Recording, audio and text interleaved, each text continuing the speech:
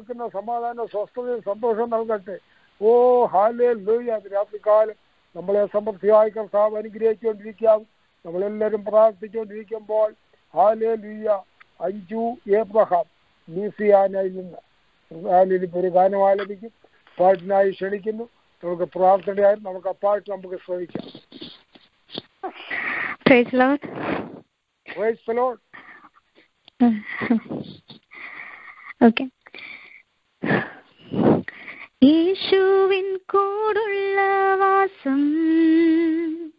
ഹായത്ര ആനന്ദമേ.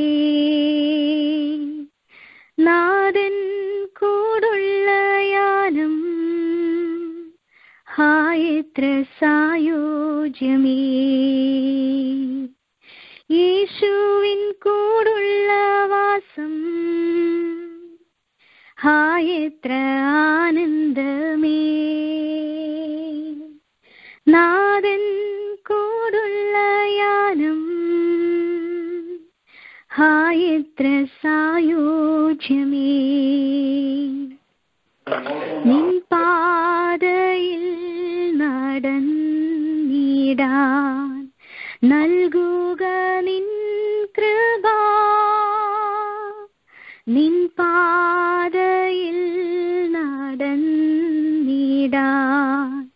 നൽകുക നിൻ കൃപ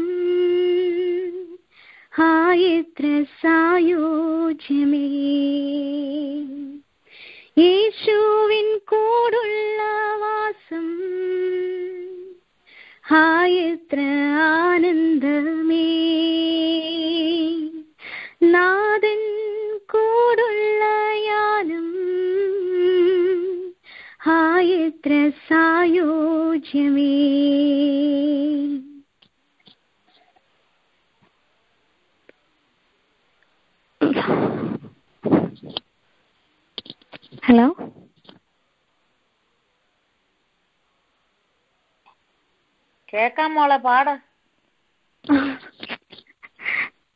ഇത്രയും ഞാൻ പാടുന്നില്ല പിന്നെ ഈ ഗ്രൂപ്പിൽ എനിക്ക് ഇടയ്ക്ക് പാടാൻ അവസരം തരുന്ന എല്ലാ ദൈവമക്കളോടുമുള്ള നന്ദിയെ ഞാൻ അറിയിക്കുന്നു.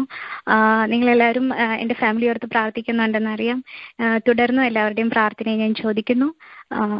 ഞാൻ നിർത്താണ് thank you God bless you thank you for beautiful song അനുഗ്രഹിക്കപ്പെട്ട ഒരു ഗാനം ആലപിക്കുവാൻ പുതിയ കർത്താവിന്റെ ദാസിക്ക് മ- ദൈവം സഹായിച്ചുവല്ലോ നല്ല ശബ്ദവും നല്ല സ്വരവും ദൈവം കൊടുത്തിരിക്കാവുന്ന കർത്താവിന് വേണ്ടി പാടുവാൻ പ്രവർത്തിപ്പാനും നെഞ്ചും നെറ്റിയും ധനം കൊണ്ട് ശരീരം കൊണ്ട് ഹോബി ബഹുമാനിപ്പാൻ തക്കവണ്ണം ഇടയായി തീരട്ടെ. നമ്മളെ സമൃദ്ധിയായി ആ പാട്ടിൽ കൂടെയും സ്വർഗത്തിലെ ദൈവം അനുഗ്രഹിച്ചു. ഹാലേലിയ സ്തോത്രം. നമ്മുടെ കർത്താവിനോട് കൂടെ നടക്കുവാൻ തക്കവണ്ണമുള്ള ഭാഗ്യം.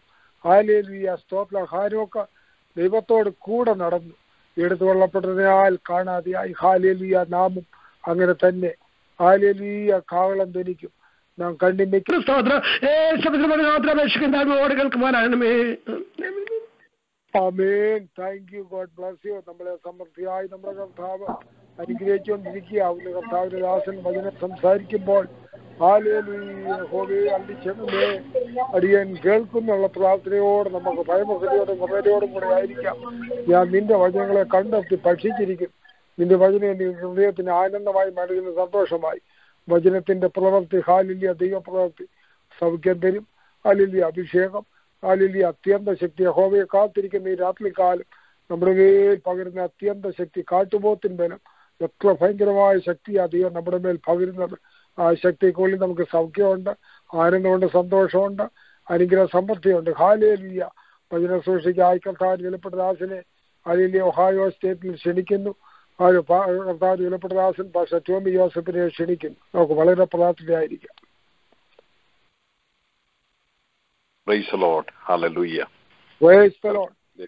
പൊന്നുനാമത്തിന് നന്ദിയോടെ സ്തോത്രം ചെയ്യുന്നു. വീണ്ടും കഴിഞ്ഞ ആഴ്ച മിസ്സായെങ്കിലും കർത്താവിന്റെ സന്നിധിയിൽ വിലപ്പെട്ട ദൈവദാസന്മാരോടും ദൈവമക്കളോടും ചേർന്ന് എളിവന് ഇന്ന് രാത്രിയിൽ സന്തോഷിപ്പാനും ദൈവസന്നിധിയിലായിരിക്കാനും ഒക്കെ ഇടയാക്കുന്നത് ഓർത്ത് ദൈവത്തെ സ്തുതിക്കുന്നു. ഇന്ന് രാത്രി ദൈവത്തിന് സ്തോത്രം സ്തോത്രം സ്തോത്രം. എല്ലാവർക്കും പ്രത്യേക വന്ദനം അറിയിക്കുന്നു. പ്രീശലോൺ ഈ ലൈനിൽ ഇന്ന് ലീഡ് ചെയ്തുകൊണ്ടിരിക്കുന്ന ബഹുമാന്യ ദേവദാസൻ പ്രിയ അനിവിച്ചാനെയും ആമേൻ പ്രീശലോൺ മാമയും കുഞ്ഞുങ്ങളെ ഓർത്ത ദൈവത്തെ സ്തുതിക്കുന്ന. കുടുംബത്തെ ധാരാളം അനുഗ്രഹിക്കട്ടെ. ശുശ്രൂഷകളെ കർത്താവ് മാനിക്കട്ടെ. ദൈവം വളരെ പ്രയോജനപ്പെടുത്തട്ടെ. പുത്തൻ അഭിഷേകം പകരട്ടെ. ആമേൻ. ദൈവത്തിന്റെ എല്ലാ ബലവും ശക്തി ആരോഗ്യവും നൽകട്ടെ. പ്രീശലോൺ അതുപോലെ തന്നെ ലൈൻ ലീഡ് നേരത്തെ കൊടുക്കുന്ന പ്രിയ സാഗ് ബ്രദറിനെ ഓർത്ത് ദൈവത്തെ സ്തുതിക്കുന്നു. ബഹുമാന്യ ദേവദാസനെ കർത്താവ് അനുഗ്രഹിക്കട്ടെ. തന്റെ കുടുംബത്തെ വിശേഷം കുഞ്ഞുങ്ങളെയും മാതാവിനെയും കർത്താവ് സഹായിക്കട്ടെ. അവർ ചെയ്യുന്ന കർത്താവിൽ അനുഗ്രഹിക്കപ്പെട്ട ഈ വേല അനേകർക്ക് അനുഗ്രഹമായി തീരുന്നല്ലോ. കർത്താവ് തങ്ങളെ അമേൻ ധാരാളമായി അനുഗ്രഹിക്കട്ടെ. ദൈവം പുത്തൻ അഭിഷേകം കൊണ്ടും അനുഗ്രഹങ്ങൾ കൊണ്ടും ആ ഭവനത്തെ നിറയ്ക്കട്ടെ. എല്ലാ നിലകളിലും കർത്താവ് മാനിക്കട്ടെ ഇന്ന് രാത്രി മെയിൻ ലൈനിൽ കടന്നു വന്നിരിക്കുന്ന എല്ലാ വിലയേറിയ മാതാപിതാക്കൾ സൗരസ്വരന്മാർ കുഞ്ഞുങ്ങൾ നിങ്ങളെല്ലാവരെയും കർത്താവ് അനുഗ്രഹിക്കട്ടെ. പ്രത്യേകിച്ച് വളരെ നല്ല ഹൃദയത്തെ സ്പർശിക്കുന്ന പാട്ട് നമ്മൾ ഇന്ന് കേട്ടല്ലോ. ദൈവത്തിന് സ്തോത്രം. ഹാലലുയ്യ അതെ അതെ ഹാലലുയ്യ യേശുവിന്റെ കൂടെയുള്ള ആ വാസത്തെ കുറിച്ച് അതെത്ര ആനന്ദമാണെന്നും ദൈവത്തിന് സ്തോത്രം. ഹാലലുയ്യ അമേൻ ഹലലിയ ദൈവത്തോടുകൂടെ ഉള്ള ജീവിതത്തെക്കുറിച്ചുള്ള സന്തോഷകരമായ അനുഭവങ്ങളെ വർണിക്കുന്ന പാട്ട് വീഴാതെ വണ്ണം തന്റെ മഹിമാസന്നിധി നമ്മളെ ആനന്ദത്തോടെ നിർത്തുന്ന കഴിവുള്ള ദൈവം ആ ദൈവത്തിന്റെ സന്നിധിയിൽ. അമേൻ ഹലലിയ നിന്റെ പാദങ്ങൾ കൂടെ നടക്കുവാൻ അമേൻ കൃപ നൽകണമേ. ഹലലിയ വീഴാതെ വണ്ണം സൂക്ഷിക്കണമേ കാത്തിടണമേ ഒരു പ്രാർത്ഥനയുടെ ഒരു ആമേൻ ഒരു പാട്ടായിരുന്നു. അതോർത്ത് ഞാൻ ദൈവത്തെ സ്തുതിക്കുന്ന. രാത്രിയിൽ ആ പ്രിയ മകളെയും കർത്താവ് അനുഗ്രഹിക്കട്ടെ. വളരെ ആത്മാർത്ഥതയോടുകൂടെ ആമേൻ. കടന്നു വന്ന് പ്രാർത്ഥിപ്പാൻ കർത്താവിന്റെ വിലപ്പെട്ട ദാസിയെ സഹായിച്ചല്ലോ. വളരെ ഹാലിലാവലോടുകൂടെ പ്രാർത്ഥിപ്പാൻ തന്റെ ദാസിയും ഇടയാക്കി. ഇന്ന് രാത്രി അവരെല്ലാം ഓർത്ത് ഞാൻ ദൈവത്തെ സ്തുതിക്കുന്നു. ഈ പ്രയളനിന് എല്ലാവരും ഓരോരോ അവയവങ്ങളായി മുതൽക്കൂട്ടായി തീരുന്നതിനായി ദൈവത്തെ സ്തുതിക്കുന്നു. അതുപോലെ തന്നെ വളരെ ആത്മാർത്ഥത്തോടെ വചനം വായിച്ചിരുന്ന വിലപ്പെട്ട ദൈവദാസി അമ്മാമയെ ഓർത്ത് ദൈവത്തെ സ്തുതിക്കുന്ന എല്ലാവരെയും കർത്താവ് അനുഗ്രഹിക്കേണ്ട ശ്രോതാക്കളായ എല്ലാ അഭ്യുദയകാംക്ഷികൾ എല്ലാ ആത്മാർത്ഥമായി ഈ പ്രയലൈനിൽ സഹകരിക്കുകയും ശ്രദ്ധിക്കുകയും നിങ്ങളുടെ സഹകരണം കൊണ്ട് അമേൻ ഈ മീറ്റിങ്ങുകൾ അനുഗ്രഹമാക്കി തീർക്കുകയും ചെയ്ത് ദൈവത്തിന്റെ മഹത്വത്തിൽ കൂടെ വെളിപ്പെടുത്തുവാൻ കടന്നു വന്നിരിക്കുന്ന എല്ലാവർക്കും ഒരിക്കൽ കൂടെ വന്ദനം അറിയിക്കുന്നു. കർത്താവ് നമ്മളെ സഹായിക്കട്ടെ. കഴിഞ്ഞ ആഴ്ചയിൽ ശാരീരികമായ അല്പ പ്രയാസങ്ങൾ ഉണ്ടായിരുന്നതുകൊണ്ട് എനിക്ക് കടന്നു വരുവാൻ കഴിഞ്ഞില്ല. എന്റെ ഒരു സ്നേഹിതനായ ദൈവദാസനാണ് വചനം സംസാരിപ്പിനിടയായത്. അദ്ദേഹത്തെ ഓർത്തും ദൈവത്തെ സ്തുതിക്കുന്നു.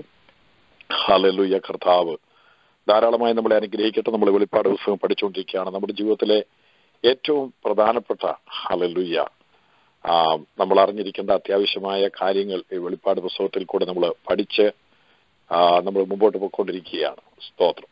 എന്നാൽ ദൈവം തരുന്ന ആലോചനകൾ നമ്മൾ ഏറ്റെടുക്കുന്നു. കർത്താവ് നമുക്ക് തരുന്ന കൃപയ്ക്കനുസരിച്ച് നമ്മൾ പറയുകയും അത് ശ്രദ്ധിക്കുകയൊക്കെ ചെയ്യുകയാണ്. സമ്പൂർണമായ ഒരു ജ്ഞാനം ദൈവത്തിനല്ലാതെ മറ്റാർക്കുമില്ല. ദൈവം തരുന്ന കൃപ പൊഴിച്ചു തരുന്ന കൃപയിൽ നിന്ന് ലഭിക്കുന്ന ജ്ഞാനത്തിൽ നിന്ന് ഞാനും സംസാരിക്കുന്നു നിങ്ങളത് ഏറ്റെടുക്കുന്നു. അതോർത്ത് ഞാൻ ദൈവത്തെ സ്തുതിക്കുന്നു. ഇന്ന് രാത്രി നമുക്ക് വീണ്ടും പരിശുദ്ധാത്മാവിന്റെ സഹായത്തോടുകൂടെ ദൈവസനിലായിരിക്കാം വെളിപ്പാട് പുസ്തകം പത്തൊമ്പതാം അധ്യായമാണ് നമ്മൾ കഴിഞ്ഞ കഴിഞ്ഞ മുമ്പത്തെ ആഴ്ച ചിന്തിച്ചത്. ആ ഭാഗത്തു നിന്ന് ആ മെയിൻ ഹലലിയ വീണ്ടും നമ്മൾ സംസാരിക്കാൻ പോവുകയാണ്. പത്തൊമ്പതാം അധ്യായം ഏഴ് തൊട്ട് പത്ത് വരെയുള്ള വാക്യങ്ങൾ വായിച്ചാട്ടെ ഏഴ് തൊട്ട് പത്ത് വരെയുള്ള വാക്യങ്ങൾ. നാം സന്തോഷിച്ച് ഉല്ലസിച്ച് അവന് മഹത്വം കൊടുക്കുക. കുഞ്ഞാടിന്റെ കല്യാണം വന്നുവല്ലോ. അവന്റെ കാന്തയും തന്നെത്താൻ ഒരുക്കിയിരിക്കുന്നു. അവൾക്ക് ശുദ്ധവും ശുഭ്രവുമായ വിശേഷ വസ്ത്രം ധരിപ്പാൻ കൃപ ലഭിച്ചിരിക്കുന്നു. ആ വിശേഷ വസ്ത്രം വിശുദ്ധന്മാരുടെ നീതി പ്രവർത്തികൾ തന്നെ. പിന്നെ അവൻ എന്നോട് കുഞ്ഞാടിന്റെ കല്യാണ സദ്യക്ക് ക്ഷണിക്കപ്പെട്ടവർ ഭാഗ്യവാന്മാർ എന്ന് എഴുതുക എന്ന് പറഞ്ഞു. ഇത് ദൈവത്തിന്റെ സത്യവചനമെന്നും എന്നോട് പറഞ്ഞു. ഞാൻ അവനെ നമസ്കരിക്കേണ്ടതിന് അവന്റെ കാൽക്കൽ വീണു. അപ്പോൾ അവൻ എന്നോട് അരുത് ഞാൻ നിനക്കും യേശുവിന്റെ സാക്ഷ്യമുള്ള നിന്റെ സഹോദരന്മാർക്കും സഹവൃത്യനത്രേ ദൈവത്തെ നമസ്കരിക്ക. യേശുവിന്റെ സാക്ഷ്യമോ പ്രവചനത്തിന്റെ ആത്മാവ് തന്നെ എന്ന് പറഞ്ഞു. ആമേൻ. നമ്മുടെ കണ്ണുകളെ അടയ്ക്കാൻ പരിശുദ്ധ പിതാവെ നന്ദിയോടെ സ്തുതിക്കുന്നു. മനോഹരമായ ഈ നല്ല രാത്രിക്കായി സ്തോത്രം ചെയ്യുന്നു. അനുഗ്രഹിക്കപ്പെട്ട പ്രേളനായി സ്തോത്രം ചെയ്യുന്നു. പ്രിയ അനുഗുച്ചാനായ കുടുംബത്തിനായി പ്രിയ സാഗ്ഭരിതനായ കുടുംബത്തിനായി സ്തോത്രം ചെയ്യുന്നു. പാടിയ ഞങ്ങളുടെ മകൾക്കായി പ്രാർത്ഥിച്ച ഞങ്ങളുടെ പ്രിയദാസിക്കായി എല്ലാം സ്തോത്രം ചെയ്യുന്നു. വചനം വായിച്ചിരുന്ന ഞങ്ങളുടെ ആമേൻ. ഹലിദാസി അമ്മാമിക്കായി സ്തോത്രം ചെയ്യുന്നു. ശ്രദ്ധിക്കുന്ന എല്ലാ വിലപ്പെട്ട ദൈവദാസന്മാർ ദൈവമക്കൾ കുടുംബങ്ങൾ എല്ലാവർക്കായി ഞങ്ങൾ നന്ദിയോടെ ശ്രദ്ധിക്കുന്നു രാത്രിയിൽ എളിവനെ ഞങ്ങളുടെ സന്നിധിയിലേക്ക് ഏൽപ്പിക്കുന്നു. കർത്താവ് ഞങ്ങൾക്ക് കൃപ നൽകണമേ. ഞങ്ങളെ അനുഗ്രഹിക്കണമേ. സംസാരിക്കണമേ. മഹത്വം എടുക്കണം. യേശു കർത്താവിന്റെ വിലയേറിയ നാമത്തിൽ തന്നെ. അമേൻ പ്രൈസ് ലോഡ് വെളിപ്പാട് പുസ്തകത്തിലെ ഘനഗംഭീരമായ ഒരു നമ്മളോടുള്ള ബന്ധത്തിൽ ഏറ്റവും പ്രധാനപ്പെട്ട ഒരു കാര്യമാണ് നമ്മൾ വായിച്ച ഈ അധ്യായത്തിലെ ഏഴ് തൊട്ട് ഒമ്പത് വരെയുള്ള വാക്യങ്ങൾ. നമ്മളോടുള്ള ബന്ധത്തിൽ ഏറ്റവും പ്രധാനപ്പെട്ട കാര്യമാണ്. നമ്മളിതൊക്കെ പഠിക്കുമ്പോൾ നമ്മുടെ ജീവിതത്തിൽ ദൈവം ആഗ്രഹിക്കുന്നത് നമ്മളെ ആമേൻ ആ വാക്യങ്ങളിലൂടെ അല്ലെങ്കിൽ ഏഴ് തൊട്ട് ഒമ്പത് വരെയുള്ള വാക്യങ്ങളിൽ കൂടെ നമ്മളെ ആമേൻ ദൈവം അനുഗ്രഹിപ്പാൻ ആഗ്രഹിക്കുന്നത് കൊണ്ടാണ് ഇന്ന് രാത്രിയിൽ നമുക്ക് ഈ വചനങ്ങൾ നമുക്ക് നൽകുന്നത് ഈ വെളിപ്പാട് പുസ്തകത്തിൽ എഴുതിയിരിക്കുന്നത്. വെളിപ്പാട് പുസ്തകം ഒന്നാം അധ്യായം എന്ന് പറയുന്നത് ക്രിസ്തുവിന്റെ മനോഹരമായ മഹത്വ ശരീരത്തിന്റെ വർണനയാണ്. രണ്ടും മൂന്നും അധ്യായം എന്ന് പറയുന്നത് ഞാനിത് ഓർപ്പിക്കുന്നതിന്റെ ഒരു പ്രത്യേക കാര്യമുണ്ട്. രണ്ടും മൂന്നും അധ്യായം ഏഴ് സഭകൾക്കുള്ള ദൂതാണ്. ഏഴ് സഭകൾക്കുള്ള ദൂതിൽ ഒത്തിരി വാണിങ്ങുകൾ പറയുന്നുണ്ട്. മുന്നറിയിപ്പുകൾ നൽകുന്നുണ്ട്. മുന്നറിയിപ്പ് നൽകാതെ ഒരിക്കലും ദൈവത്തിന് സ്തോത്രം ദൈവം അടുത്ത നടപടി ആമേൻ എടുക്കാറില്ല. തീർച്ചയായും ദൈവം ഓരോ മുന്നറിയിപ്പുകൾ നൽകും. എവിടെയൊക്കെ കുറവുകളുണ്ട് ഏതൊക്കെ കാര്യങ്ങൾ നമ്മൾ നല്ല രീതിയിൽ പോകുന്നുണ്ട് അമേൻ പ്രൈസിലോട് നമ്മളിത് രണ്ട് മൂന്ന് അധ്യായങ്ങൾ പഠിച്ചതാണെങ്കിലും ഞാൻ ഇന്ന് അതിനെക്കുറിച്ച് ഒന്നുകൂടെ ഞാൻ ഊന്നി പറയുന്നത് ദൈവി ദൈവത്തിന്റെ വാണിങ്ങുകളാണ് മുന്നറിയിപ്പുകളാണ്. അനേക ആളുകൾ ദൈവത്തിന്റെ മുന്നറിയിപ്പുകളെ പരിഗണിച്ച് പരിഗണിച്ചുകൊണ്ട് യാത്ര ചെയ്യുന്നവരുണ്ട്. എന്നാൽ പലരും ദൈവത്തിന്റെ മുന്നറിയിപ്പുകളെ അവഗണിക്കുന്നവരുണ്ട്. ദൈവത്തിന് സ്തോത്രം. സഭകളോടുള്ള ബന്ധത്തിൽ ഏഴ് സഭകൾക്ക് അതിന്റെ ഗുണങ്ങളും അതിന്റെ ദോഷങ്ങളും വെളിപ്പെടുത്തുന്നുണ്ട്. ഗുണങ്ങളിൽ തുടരുവാനും ദോഷങ്ങൾ വിട്ട് നേരെയാകുവാനുമുള്ള ആമേൻ. സ്തോത്രം. അവസരം ദൈവസഭയ്ക്ക് കൊടുക്കുകയാണ് പ്രൈസലോ ദൈവമക്കൾ ഒരു കാര്യം മനസ്സിലാക്കണം. ലൂസിഫറിന് ഒഴികെ ദൈവത്തിന് സ്തോത്രം. ദൈവം എല്ലാവർക്കും അവസരം കൊടുത്തു. ലൂസിഫറിന് അല്ലെങ്കിൽ ആ ദൂതന്മാർക്ക് വീണുപോയ ദൂതന്മാർക്ക് അവരുടെ തെറ്റ് അവരുടെ കുറ്റം ദൈവത്തിന് പൊറുക്കുവാൻ കഴിയാത്ത അതിഭീമമായ ആ തെറ്റിന്റെ മുമ്പിൽ പിന്നീട് ഒരു ചാൻസ് കൂടെ കൊടുക്കാതെ അവനെ വെട്ടി താഴേക്ക് വിടുകയായിരുന്നു. ദൈവത്തിന് സ്തോത്രം. എന്നാൽ ദൈവം സൃഷ്ടിച്ച മനുഷ്യന് വീണ്ടും ചാൻസ് കൊടുക്കുന്നതായി നമ്മൾ കാണുന്നുണ്ട്. കാരണം മനുഷ്യൻ സമ്പൂർണനല്ല മൺപൊടിയാണ് അവന്റെ പ്രകൃതി ദൈവം അറിയുന്നുണ്ട്. അപ്പോൾ രണ്ടും മൂന്നും അധ്യായങ്ങളിൽ മടങ്ങി വരുവാനും മാനസാന്തരപ്പെടുവാനും തിരിയുവാനും എനിക്ക് നിങ്ങൾക്കും ദൈവം അവസരം തരുന്ന ഏഴ് സഭകളുടെ ദൂതുകൾ പറയുമ്പോൾ ആ ദൂത് ഇന്നത്തെ സഭയ്ക്ക് ആ ഏഴ് സഭകൾക്കും കൊടുത്ത ദൂത് ഇന്നത്തെ സാർവത്രിക സഭയ്ക്ക് ലോകത്തിൽ നിലനിൽക്കുന്ന ദൈവസഭയ്ക്ക് സഭകൾ അമേ സഭകൾ ഒത്തിരി ചെറുതായിട്ടുണ്ടെങ്കിലും സഭകളെ എല്ലാം കൂടെ ഒന്നിച്ചു കൂടുമ്പോൾ അത് സാർവത്രിക സഭയാണ് യൂണിവേഴ്സൽ ചർച്ചാണ്. ദൈവത്തിന്റെ യൂണിവേഴ്സൽ ചർച്ചിലുള്ള ദൈവമക്കൾക്ക് അമേൻ ദൈവം മുന്നറിയിപ്പുകൾ നൽകുന്നത് അമേൻ സ്തോത്രം കാര്യങ്ങൾ ക്രമപ്പെടുത്താനാണ്. അമേൻ ഹലല് വിടേണ്ടത് വിടാനും ദൈവത്തിന്റെ സ്തോത്രം നല്ലതിൽ കൂടെ യാത്ര ചെയ്യുവാനും അമേൻ സ്തോത്രം. ദൈവത്തിന്റെ പ്രമാണങ്ങൾ അനുസരിച്ച് മുന്നോട്ട് പോകാനാണ് ദൈവം മുന്നറിയിപ്പുകൾ നൽകുന്നത്. സഭകൾക്കുള്ള ദൂത് എന്ന് പറയുന്നത് ഞാൻ പൂർണമായി വിശ്വസിക്കുന്നത് ചില മുന്നറിയിപ്പുകളാണ്. ചില അമേൻ ഹലല്ലുയ്യ തിരുത്തലുകൾ സംഭവിക്കുവാൻ ചില കാര്യങ്ങൾ വേണ്ടാത്തത് കളയുകയും വേണ്ടത് സ്വീകരിക്കുകയും ചെയ്യുവാനുള്ള മുന്നറിയിപ്പാണ്. എന്തിനാ ഞാൻ പറഞ്ഞെന്ന് ചോദിച്ചാൽ നാലാം അധ്യായത്തിലേക്ക് വരുമ്പോൾ സഭ എടുക്കപ്പെടുകയാണ്. നാലാം അധ്യായത്തിൽ സഭ എടുക്കപ്പെടുന്നത് ഇവിടെ ഇവിടെ കയറി വരിക മേലാൽ സംഭവിക്കാനുള്ളത് കാണിക്കാമെന്ന് യോഹന്നാനെ വിളിക്കുന്ന സമയത്ത് സഭ ഭൂമിയിൽ നിന്ന് എടുക്കപ്പെടുന്നു. ദൈവത്തിന്റെ സ്തോത്രം. ഹാലലിയ റാപ്ചറിന്റെ ഒരു ഗംഭീരമായ സൗണ്ട് നമുക്ക് ഒന്ന് തസ്ലോനിക്ക ലേഖനം നാലാം അധ്യായം പതിനാറ് തൊട്ട് പതിനെട്ട് വരെയുള്ള വാക്യങ്ങളിൽ വിശേഷിപ്പിക്കുന്നുണ്ട്. ദൈവത്തിന് സ്തോത്രം. കർത്താവ് ഇവിടെ കയറി വരിക എന്നുള്ള കർത്താവ് താൻ ഗംഭീര നാദം പ്രധാന ദൂതന്റെ ശബ്ദം ദൈവത്തിന്റെ കാഹളം നാദം കേൾപ്പിക്കുന്ന ഒരു സമയമുണ്ട്. ഈ സമയത്തിന് മുമ്പ് ദൈവമക്കൾക്ക് ദൈവം എപ്പോഴും മുന്നറിയിപ്പ് നൽകും. വാണിങ്ങുകൾ നൽകും. ദൈവത്തിന്റെ സ്തോത്രം. അവസരങ്ങൾ നൽകും. പക്ഷെങ്കിൽ നമ്മൾ എന്ത് ചെയ്യണം? ഒത്തിരി അവസരങ്ങൾ കിട്ടുമെന്നോർത്ത് ദൈവത്തിന്റെ അമേൻ മുന്നറിയിപ്പുകളെ ഒന്നും നമ്മൾ അവഗണിച്ച് കളയരുത്. ഇതെനിക്ക് കിട്ടിയ ലാസ്റ്റ് ചാൻസ് ആണെന്ന് തന്നെ എപ്പോഴും ദൈവമക്കൾ കരുതിക്കൊണ്ടിരിക്കണം. ഓരോ മുന്നറിയിപ്പുകളും ദൈവം പല മുഖാന്തരത്തിൽ കൂടെ തരും. ഏറ്റവും കൂടുതലായി ദൈവത്തിന്റെ മുന്നറിയിപ്പുകൾ ദൈവത്തിന്റെ വചനത്തിൽ കൂടെയാണ് ദൈവം സംസാരിക്കുന്നത്. പരിശുദ്ധാത്മാവ് വചനത്തിലൂടെ സംസാരിക്കും.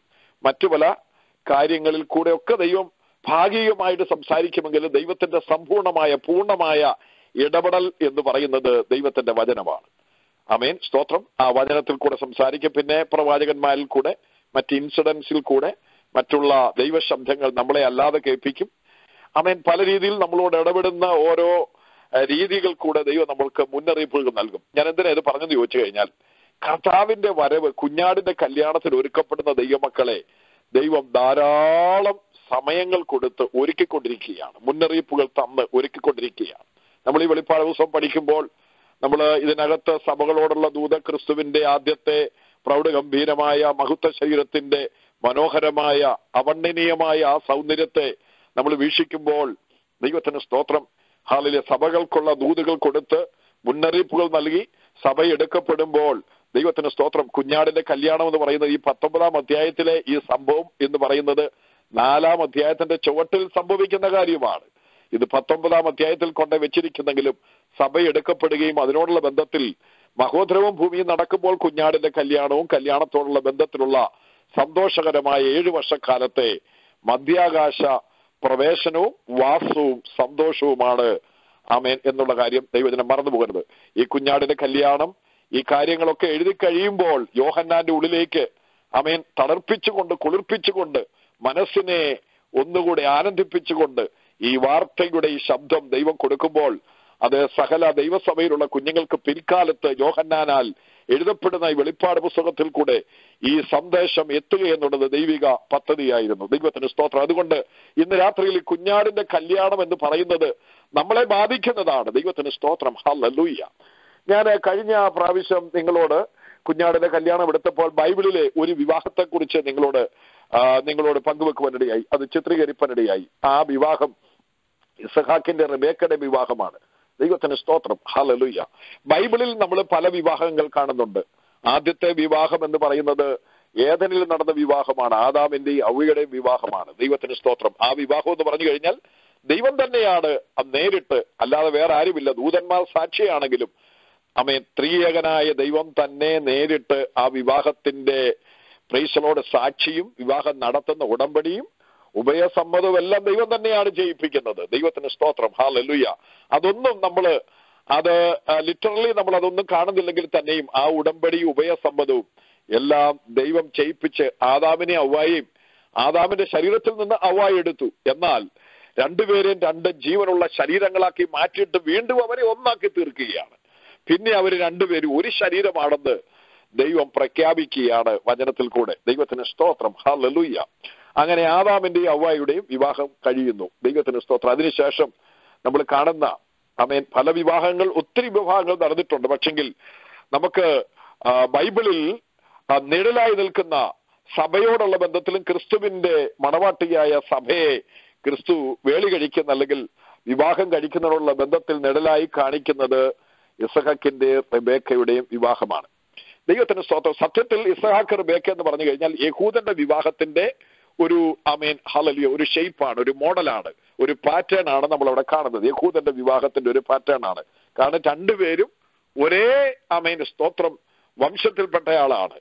ഇസ്രായേൽ അതായത് അബ്രഹാമിന്റെ മകനും ആ കുടുംബത്തോട് ബന്ധപ്പെട്ടിട്ടിരിക്കുന്ന ബ്ലഡ് റിലേഷനുള്ള രക്തബന്ധം അസ്ഥിയിൽ നിന്ന് അസ്ഥിയും മാംസത്തിൽ നിന്ന് മാംസവുമായ കുടുംബ ബന്ധത്തിൽ നിന്ന് തന്നെയാണ് ഇസഹാക്കിന് പെൺകുട്ടിയെ തിരഞ്ഞെടുക്കുന്നത്. അല്ലാതെ ഒരു ജാതീയ പെൺകുട്ടിയല്ല. ദൈവത്തിന് സ്തോത്രം. അപ്പോൾ അത് നമുക്ക് മനസ്സിലാക്കുവാൻ കഴിയുന്നത് യഹൂദന്റെ പിൽക്കാലത്തെ യഹൂദന്റെ അല്ലെ ഇസ്രായേൽ ജനം എന്ന് പറയുന്ന ഇസഹാക്കിന്റെ മകൻ യാക്കോവിന്റെ പേര് മാറ്റിയതാണ് ഇസ്രയേൽ.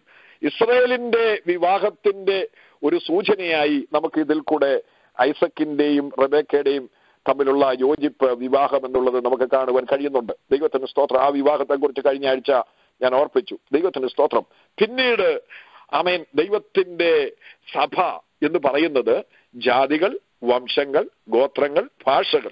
എണ്ണിക്കൂടാത്ത വലിയൊരു പുരുഷാരത്തിന്റെ സമ്മിശ്രിതമായ പുരുഷാരത്തെ ദൈവം വീണ്ടെടുക്കുകയാണ്. ദൈവത്തിന് സ്തോത്രം. ഹാലൂയ യഹൂദൻ അല്ലെങ്കിൽ ഇസ്രായേൽ ദൈവത്തെ തള്ളിക്കഴിയുമ്പോൾ അവൻ അവനെ കൈക്കൊണ്ട് അവന്റെ നാമത്തിൽ വിശ്വസിക്കുന്ന ഏവർക്കും ദൈവമക്കളാകുവാൻ അധികാരം അവകാശം പദവി അവസരം തരികയാണ്.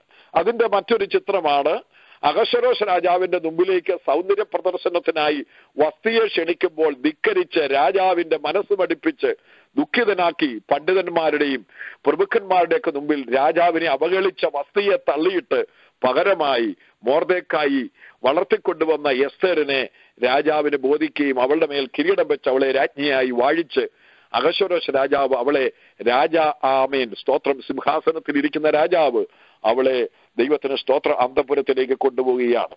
അത് എന്താണെന്ന് ചോദിച്ചു കഴിഞ്ഞാൽ ഒരു അനുസരണത്തിന്റെ അനുസരണക്കേടിന്റെയും ഒരു ചിത്രം നമുക്ക് അവിടെ കാണുന്നുണ്ട്.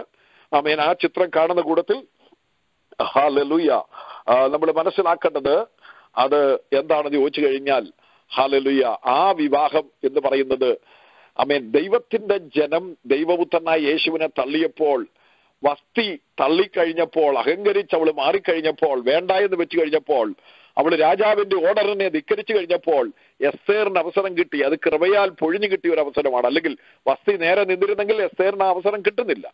പക്ഷെങ്കിൽ വസ്തി പോകേണ്ടതൊക്കെ ദൈവിക പദ്ധതിയാണ്. യഹൂദൻ അതായത് കർത്താവിനെ തള്ളിക്കഴിഞ്ഞപ്പോൾ ആ ഒരു ഓപ്പർച്യൂണിറ്റി എന്താണ്? ജാതികളിലായ ആളുകളായ നമ്മളിലേക്ക് ആ അവസരം കൃപയാൽ നമ്മുടെ അടുത്തേക്ക് കടന്നു വരികയാണ്. അങ്ങനെയാണ് നമ്മൾ കൃപയാൽ വിശ്വാസം മൂലം രക്ഷിക്കപ്പെട്ടത്. ആ കൃപ അത് നമ്മുടെ സ്വന്തം പ്രവർത്തികളാലോ നീതി പ്രവർത്തികളാലോ ഒന്നുമല്ല. കൃപയാൽ നമ്മൾ രക്ഷിക്കപ്പെട്ടു. കരുണാസമ്പന്നനായ ദൈവത്തിന്റെ മഹാസ്നേഹ നിമിത്തം പാവികളും ദോഷികളുമായ നമ്മൾ എന്താണ്? ദൈവത്തെങ്കിലേക്ക് വരുവാനിടയായി നമ്മളെ കർത്താവ് തിരഞ്ഞെടുത്തു. ദൈവത്തിന് സ്തോത്രം. അപ്പോൾ ആമയൻ എസ്തേറിന്റെ വരവെന്ന് പറയുന്നത് നമ്മളെ കർത്താവ് ആമയൻ ഹലൽ വെളിമ്പറമ്പിൽ എറിയപ്പെട്ട ഇസ്രയേൽ പൗരതയോട് സംബന്ധമില്ലായിരുന്ന വാക്തത്വങ്ങളുടെ നിയമങ്ങൾക്ക് അവകാശികളല്ലായിരുന്ന ദൂരസ്ഥരായിരുന്ന നമ്മളെ സമീപസ്ഥരാക്കി തീർക്കുവാൻ യേശുവിന്റെ രക്തം ആമയൻ ഹലല് ജാതികളായി നമ്മളിലേക്ക് വീണു. ദൈവത്തിന് സ്തോത്രം. യഹൂദം തള്ളിയത് കൊണ്ടാണ് ആ രക്തം വീണത്. പക്ഷെങ്കിൽ അത് അങ്ങനെ പറയാൻ മാത്രം നമുക്ക് പറ്റത്തില്ല. അമേൻ എന്താണെന്ന് ചോദിച്ചു കഴിഞ്ഞാൽ ലോകസ്ഥാപനത്തിന് മുമ്പേ അറുക്കപ്പെട്ട കുഞ്ഞാടിന്റെ രക്തം എവിടെയൊക്കെ തളിക്കണം എവിടെയൊക്കെ വീഴണം ആരൊക്കെ അതിൽ വീണ്ടെടുക്കപ്പെടുമെന്നുള്ളത് ദൈവത്തിന് അറിയാമായിരുന്നു. ദൈവത്തിന് സ്തോത്രം. ഇസ്രായേൽ യഹൂദൻ അമേൻ യഹോബയായ ദൈവത്തെ അമേൻ ഹലിയ തള്ളിക്കളയുന്നത് പോലെ യേശുക്രിസ്തുവിനെ ദൈവത്തിന് സ്തോത്രം. തള്ളിക്കളഞ്ഞ ചരിത്രം പിന്നീട് നമ്മൾ കാണുകയാണ്. ആ പിന്നീടുള്ള ചരിത്ര സംഭവത്തോടുള്ള ബന്ധത്തിൽ ജാതികളിലേക്ക് അമേൻ ഹലലുയ ദൈവത്തിന്റെ രക്ഷ ഇങ്ങനെ പളരുവാനിടയായി അങ്ങനെയാണ് കേരളത്തിൽ ജനിച്ച നമുക്കും ഈ രക്ഷ കിട്ടുവാൻ കാരണമായി തീർന്നത്. അല്ലെങ്കിൽ നമ്മളൊക്കെ ഇന്ന് ഹിന്ദുക്കളായി ജീവിച്ചേനെ. ദൈവത്തിന് സ്തോത്രം. എന്നാൽ കൃപയാൽ കൃപയാൽ വിശ്വാസം മൂലം ദൈവത്തിന്റെ ആ സ്നേഹത്തിന്റെ കരം നമ്മളിലേക്ക് വെളിപ്പെട്ടു നമ്മുടെ കുടുംബങ്ങളിലേക്ക് വെളിപ്പെട്ടു പിതാക്കന്മാരിലും വെളിപ്പെട്ടു. ദൈവത്തിന് സ്തോത്രം. അമേൻ ഹാലലിയ ഇല്ലെങ്കിൽ വ്യക്തിപരമായി നമ്മുടെ ജീവിതത്തിൽ കടന്നു വന്നു. അങ്ങനെ നമ്മൾ രക്ഷ പ്രാപിച്ചു. ദൈവത്തിന് സ്തോത്രം. ഇവിടെ പറഞ്ഞു വരുന്നത് ഹാലിൽ നമുക്ക് കിട്ടിയത് ഹാലിയ നമുക്ക് കിട്ടിയത് ഐസക് റബേക്കയുടെ വിവാഹത്തിന് സദൃശമായ മോഡലല്ല. നമുക്ക് കിട്ടിയ രക്ഷ എന്ന് പറയുന്നത് ബോബസും ജൂത്തും തമ്മിലുള്ള വിവാഹത്തിന്റെ ഒരു ആമേൻ ഹാലലി ഒരു മോഡലിലാണ് നമുക്ക് രക്ഷ കിട്ടിയത്. ബോബസ് എന്ന് പറയുന്നത് ദൈവത്തിന് സ്തോത്രം ഹാലലുയ. അതെ ഇസ്രയേലിനാണ് ദൈവത്തിന് സ്തോത്രം. എന്നാൽ രൂത്ത് എന്ന് പറയുന്നത് മൊബാബ് പെൺകുട്ടിയാണ്. ദൈവത്തിന് സ്തോത്രം. നവോമി എലിമലേക്ക് മഹളോൻ കില്ലിയോൻ ഇവരൊക്കെ എന്താണ്? എലിമലേക്കും ആമേൻ നവോമിയും മഹളോനും കില്ലിയോനും ആമേൻ എഫ്രാത്ത വിട്ട് ബദലഹേം ദേശം വിട്ട് അവർ മൊബാബിലേക്ക് പോയി. മൊബാബി ചെന്ന് കഴിഞ്ഞ് താൽക്കാലികമായി ക്ഷാമം ആമേൻ അതിനെ നേരിടുവാൻ കഴിയാതെ അവരെന്ത് ചെയ്തു? അവർ പുതിയ അമേൻ ജീവിതത്തെ ആഗ്രഹിച്ചുകൊണ്ട് മോഡേൺ ടെക്നോളജി ഹൈ അമേൻ എഡ്യൂക്കേഷൻ അങ്ങനെ പല കാര്യങ്ങൾ അമേൻ പുതിയ സൊസൈറ്റിയിലുള്ള ആളുകൾ അമേൻ ഉയർന്ന വിദ്യാഭ്യാസ യോഗ്യതയുള്ള ആളുകൾ ഇങ്ങനെയുള്ള ആളുകളൊക്കെയായി ബന്ധപ്പെടുവാൻ മോഡേൺ ലൈഫിന് വേണ്ടി അവർ മൊബാബിലേക്ക് പോയി പോയപ്പോൾ അവിടെ സംഭവിച്ചത് എന്താണ്? എലിമലേക്ക് മരിച്ചു മഹ്ലോൻ മരിച്ചു കില്ലോൻ മരിച്ചു. മൂന്ന് വിധവമാരുടെ കണ്ണീർ തുള്ളികൾ പൊഴിഞ്ഞു വീണ മൊബാബിൽ നബോമി മടങ്ങിപ്പോകുവാൻ ആഗ്രഹിക്കത്തക്ക രീതിയിൽ ദൈവം ഒരു അമേൻ ഹലലിയ ഒരു നല്ല വിളവെടുപ്പും കൊയ്ത്തിന്റെ കാലം ബദലഹേം എഫ്രാത്തയിൽ ഒരുക്കുകയാണ്. ദൈവത്തിന് സ്തോത്രം. അപ്പോൾ ആ വാർത്ത കേട്ടിട്ട് നബോമി അമേൻ എല്ലാം മറന്നുകൊണ്ട് ബദലഹേമിലേക്ക് മടങ്ങി വരുവാൻ ആഗ്രഹിക്കുകയാണ്. ദൈവത്തിന് സ്തോത്രം. മടങ്ങി വരുവാൻ ആഗ്രഹിക്കുമ്പോൾ ഓർപ്പ ദൈവത്തിന് സ്തോത്രം ഒരു മരുമകൾ രൂത്ത് വേറൊരു മരുമകൾ. അവരും പോരാൻ തീരുമാനിച്ചെങ്കിലും നവോമി ചില കാര്യങ്ങൾ സ്റ്റേറ്റ്മെന്റുകൾ പറഞ്ഞു കഴിഞ്ഞപ്പോൾ ഓർപ്പ എന്ത് ചെയ്തു അവളുടെ ഉള്ളിൽ യഥാർത്ഥമായ യഹോഭക്തി ഒന്നുമില്ലായിരുന്നത് കൊണ്ട് അവൾ അവളുടെ ദേവന്റെയും ജനത്തിന്റെ അരിക്കിലേക്ക് മടങ്ങിപ്പോയി. എന്നാൽ രൂത്ത് അവൾ പറയുന്നു ഉറച്ച് ഉറപ്പോടെ അവൾ പറഞ്ഞത് നവോമി അമ്മച്ചി അമ്മച്ചിയുടെ യഹോവയായ ഞാൻ കണ്ടുമുട്ടിയത് കൊണ്ട് നിന്റെ ദൈവം എന്റെ ദൈവം എന്ന് പറഞ്ഞുകൊണ്ട് നവോമിയോടുകൂടെ അവൾ മന്ദമായി ബദലഹേമിലേക്ക് തീരുമാനമെടുത്ത് യാത്ര ചെയ്ത് വരികയാണ്. വന്ന് ദൈവത്തിന് സ്തോത്രം ഭാഗ്യവശാൽ ബോബസിന്റെ വയലിലെത്തുന്നു ദൈവത്തിന് സ്തോത്രം അവിടെ വന്നു കഴിഞ്ഞ് പിറ്റേ ദിവസം അമീൻ ഖാലിലിയെ മണി പറക്കാനൊക്കെ പോവുകയാണ് ചരിത്രം നമുക്കറിയാം. ബോബസിന്റെ വയലിൽ വരുന്നതും അതിനുശേഷം സമയങ്ങൾ മുമ്പോട്ട് നീങ്ങുന്നു. അവൾ ഹലലിയ ജീവിതമാർഗം കണ്ടെത്തി. ബോബസ് അവൾക്ക് കറ്റകൾ പൊഴിപ്പിച്ചു കൊണ്ടു കൊടുക്കുന്നു. ദൈവത്തിന് സ്തോത്രം അങ്ങനെ ജീവിതം ഇങ്ങനെ പടിപടിയായി മുമ്പോട്ട് പോകുമ്പോൾ നവോമി പറഞ്ഞു കൊടുക്കുന്ന ആശയമാണ് നിനക്കൊരു വിശ്രാമ സ്ഥലം ആവശ്യമാണ്. അങ്ങനെ ബോബസിനെ അവൾ ആഗ്രഹിക്കുകയും ബോബ- ബോബസിന്റെ പുതപ്പിൻ കീഴിൽ കിടക്കുകയും നമുക്ക് ചുരുക്കമായി അറിയാം. ബോബസ് അവളെ വീണ്ടെടുക്കുവാനുള്ള വഴികളെല്ലാം നവോമി കരുക്കൾ നീക്കി ചരട് വലിച്ച് ദൈവത്തിന് സ്തോത്രം കാര്യങ്ങൾ ക്രമപ്പെടുത്തി ദൈവത്തിന് സ്തോത്രം ഒടുവിൽ ഇതാ ന്യായപ്രമാണമെന്ന വീണ്ടെടുപ്പുകാരൻ മാറി നിന്ന് കഴിഞ്ഞ് ദൈവത്തിന് സ്തോത്രം ബോബസ് അമേൻ അമേൻ രൂത്തിനെ വീണ്ടെടുക്കാൻ തയ്യാറായി പരസ്യമായി അവളെ വീണ്ടെടുക്കുകയാണ്. ദൈവത്തിന് സ്തോത്രം. ഇന്ന് ഒരു കാര്യം മനസ്സിലാക്കണം. ബോവസ് രൂത്തിനെ വീണ്ടെടുത്തത് എന്റെയും നിങ്ങളുടെ വീണ്ടെടുപ്പിന്റെ ഒരു നിഴലാണ്. ദൈവത്തിന് സ്തോത്രം. കർത്താവായ യേശു എന്നെ നിങ്ങളെ വീണ്ടെടുത്തതിന്റെ ഒരു നിഴലാണ്. അത് മറ്റൊരു വിവാഹത്തിന്റെ ചിത്രമാണ്. ഞാൻ ഈ കുഞ്ഞാടിന്റെ കല്യാണം പറയുമ്പോൾ സാധാരണ ആൾക്കാർ പറയാത്ത കാര്യമാണെങ്കിലും എന്റെ ഉള്ളിൽ കടന്നു വന്ന ചിന്തകളാണ്. ബൈബിളിൽ എത്ര എത്ര വിവാഹങ്ങൾ ഉണ്ടോ അത്രയും വിവാഹങ്ങൾ തീർച്ചയായും ഈ കുഞ്ഞാടിന്റെ കല്യാണത്തോടുള്ള ബന്ധത്തിൽ അതിന്റെ പുറകിൽ ചില ആശയങ്ങൾ നമുക്ക് പകർന്നു തരുന്നുണ്ടെന്ന് ഉള്ളത് നമ്മൾ മനസ്സിലാക്കണം. അങ്ങനെ മോബസും രൂത്തിന്റെ വിവാഹത്തോടുള്ള ബന്ധത്തിൽ ആമേൻ അല്ലെങ്കിൽ ആ വീണ്ടെടുപ്പ് ആമേൻ ആ രൂത്തിനെ വീണ്ടെടുക്കുകയാണ്. ശ്രദ്ധിക്കേണ്ട വിഷയം ബോബസ് എന്ന് പറയുന്ന ആളിന്റെ വിവാഹം എന്ന് പറഞ്ഞു കഴിഞ്ഞാൽ ഫസ്റ്റ് മാരേജ് ആയിരുന്നു. എന്നാൽ രൂത്തിന്റെ വിവാഹം എന്ന് പറയുന്നത് സെക്കൻഡ് മാരേജ് ആയിരുന്നു. അതിന്റെ അർത്ഥം ഒരാൾക്ക് രണ്ടാം കല്യാണം കഴിക്കാമെന്നുള്ളതല്ല പറഞ്ഞു വരുന്നത്. എന്റെ ആശയം മനസ്സിലാക്കിക്കോണം ദൈവത്തിന്റെ സ്തോത്രം. അവൾ ലോകത്തിൽ ജീവിച്ചവളാണ്. അമേൻ സ്തോത്രം. അമേൻ ലോകത്തിൽ ജീവിച്ചവളാണെങ്കിലും അവൾ അവൾ കല്യാണം കഴിച്ച ആൾ ആമേൻ അവളുടെ ഭർത്താവ് ദൈവത്തിന് സ്തോത്രം മഹളോൻ. ആ മഹളോൻ എന്ന് പറയുന്നത് ന്യായപ്രമാണത്തെ കാണിക്കുകയാണ്. അവളുടെ ആദ്യത്തെ ഭർത്താവായ ന്യായപ്രമാണം ആമേൻ മരിച്ചിട്ട് ദൈവത്തിന് സ്തോത്രം. പുതിയ ഭർത്താവായ ബോവസിനെ അവൾ സ്വീകരിക്കുകയാണ്. ന്യായപ്രമാണ സംബന്ധമായി അവൾ മരിച്ചു. ഇനി നമ്മളെ സംബന്ധിച്ച് പറയുകയാണെങ്കിൽ നമുക്ക് ന്യായപ്രമാണം ഇല്ലായിരുന്നുവെങ്കിലും പാപസംബന്ധമായി നമ്മൾ മരിച്ചു. ദൈവത്തിന് സ്തോത്രം. അതാണ് പുതിയ സൃഷ്ടി. വീണ്ടെടുപ്പിൻ ആമേൻ ശബ്ദം എന്നൊക്കെ പറയുന്നത് അതാണ്. അപ്പോൾ അവൾ രണ്ടാമത് വിവാഹം കഴിക്കാന്ന് പറഞ്ഞു കഴിഞ്ഞാൽ അർത്ഥം ആദ്യത്തെ ഭർത്താവ് ലോകമായിരുന്നു. ആദ്യത്തെ ഭർത്താവ് ന്യായപ്രമാണമായിരുന്നു. ദൈവത്തിന് സ്തോത്രം. എന്നാൽ ന്യായപ്രമാണ സംബന്ധമായും ലോകപരമായും പാപസംബന്ധമായും ഒക്കെ മരിച്ചിട്ട് ആമേൻ ഹലലുയ കർത്താവിനെ ഒരു പുതിയ സൃഷ്ടിയായി തീരത്തക്ക വിധത്തിൽ ആമേൻ എൻഗേജ്മെന്റിലൂടെ ക്രിസ്തു എന്ന ഏകപുരുഷന്റെ നിർമ്മല കന്യകയായി വിവാഹം നിശ്ചയിക്കപ്പെട്ടിരിക്കുന്ന ആളുകളാണ് നമ്മൾ. അപ്പോൾ നിങ്ങൾക്കൊരാശയം പിടികിട്ടിയെന്ന് ഞാൻ വിശ്വസിക്കുന്നു. അപ്പോൾ ബോബസ് രൂത്തിനെ കല്യാണം കഴിക്കുന്ന പോലെ അല്ല വീണ്ടെടുക്കുന്ന പോലെയാണ്. നമ്മളുടെ വീണ്ടെടുപ്പ് ഇപ്പോൾ ആത്മാവിന്റെ വീണ്ടെടുപ്പ് നടന്നിരിക്കുന്നത്. ഇനി അടുത്തത് ബോവസിന്റെ വീട്ടിൽ അവൾ എത്തുന്നത് പോലെ ദൈവത്തിന്റെ സ്തോത്രം നമ്മുടെ ശരീരത്തിന്റെ വീട്ടെടുപ്പ് വീണ്ടെടുപ്പ് നടന്നിട്ട് നമ്മൾ മധ്യാകാശത്ത് എത്തും. അത് അതൊക്കെ ഞാൻ കർത്താവിന്റെ വരവിനെ കുറിച്ച് ഒത്തെങ്കിൽ കർത്താവ് അനുവദിച്ചാൽ ഒരു സമയത്ത് പറയുമ്പോൾ കൂടുതലായിട്ട് ഇതിനെക്കുറിച്ച് വിശദീകരിക്കാൻ സാഹചര്യങ്ങൾ കിട്ടട്ടെ എന്ന് ഞാൻ പ്രാർത്ഥിക്കുന്നു. ദൈവത്തിന് സ്തോത്രം. ഇനി അടുത്തത് ബൈബിളിൽ കാണുന്ന മറ്റ് വിവാഹങ്ങൾ എന്ന് പറഞ്ഞു കഴിഞ്ഞാൽ പ്രിയനും പ്രിയയുടെ വിവാഹമാണ്. ഉത്തമഗീതത്തിലെ ശലോമൻ രാജാവും ആമേൻ. സ്തോത്രം. ഹലലി അതുപോലെ തന്നെ ഒരു ആട്ടിടയ ചെറുക്കന്റെ വേഷത്തിലേക്ക് പ്രത്യക്ഷമാകുന്ന ശലോമൻ രാജാവ്. അപ്പോൾ ഒരു കറുത്ത പെൺകുട്ടി അവൾ ഇരുനിറ ഇരുനിറക്കാരിയാണ്. ദൈവത്തിന് സ്തോത്രം. അവൾ ആ മുന്തിരിത്തോട്ടത്തിൽ ജോലി ചെയ്യാൻ വന്നിരിക്കുന്നവളാണ്. ആ പ്രദേശത്തുള്ളവളാണ്. മുന്തിരിത്തോട്ടത്തിന്റെ ഉടമസ്ഥനായ അമേൻ രാജാവ് ആട്ടിടയന്റെ വേഷത്തിൽ കടന്നു വരുമ്പോൾ അവർ തമ്മിൽ അമേൻ സ്തോത്രം പരിചയപ്പെടുകയും അമേൻ രാജാവിന് അമേൽ ആട്ടിടയന് അവളോട് താല്പര്യമുണ്ടായി അവൾക്ക് അമേൻ ആട്ടിടയനോട് താല്പര്യമുണ്ടാകുകയൊക്കെ ചെയ്യുന്ന ഒരു ഭാഗമാണ് ഉത്തമഗീതം എന്ന് പറയുന്നത്. അത് ശരിക്കും അതിന്റെ പ്രാർത്ഥിച്ചിരുന്ന് വായിച്ചാൽ അതിന്റെ അർത്ഥങ്ങൾ കിട്ടത്തുള്ളൂ. ദൈവത്തിന് സ്തോത്രം. എന്താണെങ്കിലും ആമേൻ ആ പ്രിയനും പ്രിയയും തമ്മിലുള്ള വിവാഹം നടക്കുകയാണ്. ദൈവത്തിന് സ്തോത്രം. പ്രിയനെ പ്രിയെ ഇഷ്ടപ്പെടുന്നു. പ്രിയയ്ക്ക് പ്രിയനെ ഇഷ്ടപ്പെടുന്നു. പ്രിയ പറയുന്നു അവൻ ആമേൻ എനിക്കുള്ളവൻ ഞാൻ അവനുള്ളവൾ. ഇങ്ങനെ അവൾ പല പ്രാവശ്യം സംബോധന ചെയ്യുന്നുണ്ട്. ദൃഢമായ ഒരു സ്നേഹബന്ധത്തിലായിരിക്കുകയാണ്. ദൈവത്തിന് സ്തോത്രം. അവൾ അവന്റെ പിന്നാലെ പോകുകയാണ്. ദൈവത്തിന് സ്തോത്രം. ഒരിക്കലും ഒരിക്കലും അവളുടെ ഹൃദയം വേറൊന്നിലേക്ക് ചലിക്കാതെ തന്റെ പ്രിയനെ കുറിച്ചുള്ള വർണന എന്ന് പറയുമ്പോൾ എന്റെ പ്രിയനോ അവൻ നിന്റെ പ്രിയൻ എന്നാ എത്ര പ്രത്യേകത എന്ന് ചോദിക്കുമ്പോൾ ദൈവത്തിന് സ്തോത്രം. അവൾക്ക് പറയുവാനുള്ളത് വളരെ അമേൻ ആഴമായ ആമേൻ ഹലൽ ഒരു ഒരു സൗന്ദര്യമാണ് പ്രിയനെ കുറിച്ച് അവൾ കാണുന്നത്. നിന്റെ പ്രിയന് മറ്റുള്ള പ്രിയരേക്കാൾ എന്ത് വിശേഷത ഉണ്ട് എന്ന് ചോദിക്കുമ്പോൾ അവൾ വിളിച്ചു പറയുകയാണ് എന്റെ പ്രിയൻ വെണ്മയും ചുമപ്പുമുള്ളവൻ പതിനായിരം പേരിൽ അതിശ്രേഷ്ഠൻ. അവന്റെ ശിരസ് അതിവിശിഷ്ടമായ തങ്കം അവന്റെ കുറുനിരകൾ ചുരുണ്ടും കാക്കയെ പോലെ കറുത്തുമിരിക്കുന്നു അവന്റെ കണ്ണ് നീർത്തോടുകളുടെ അരികത്തുള്ള പ്രാവുകൾക്ക് തുല്യം.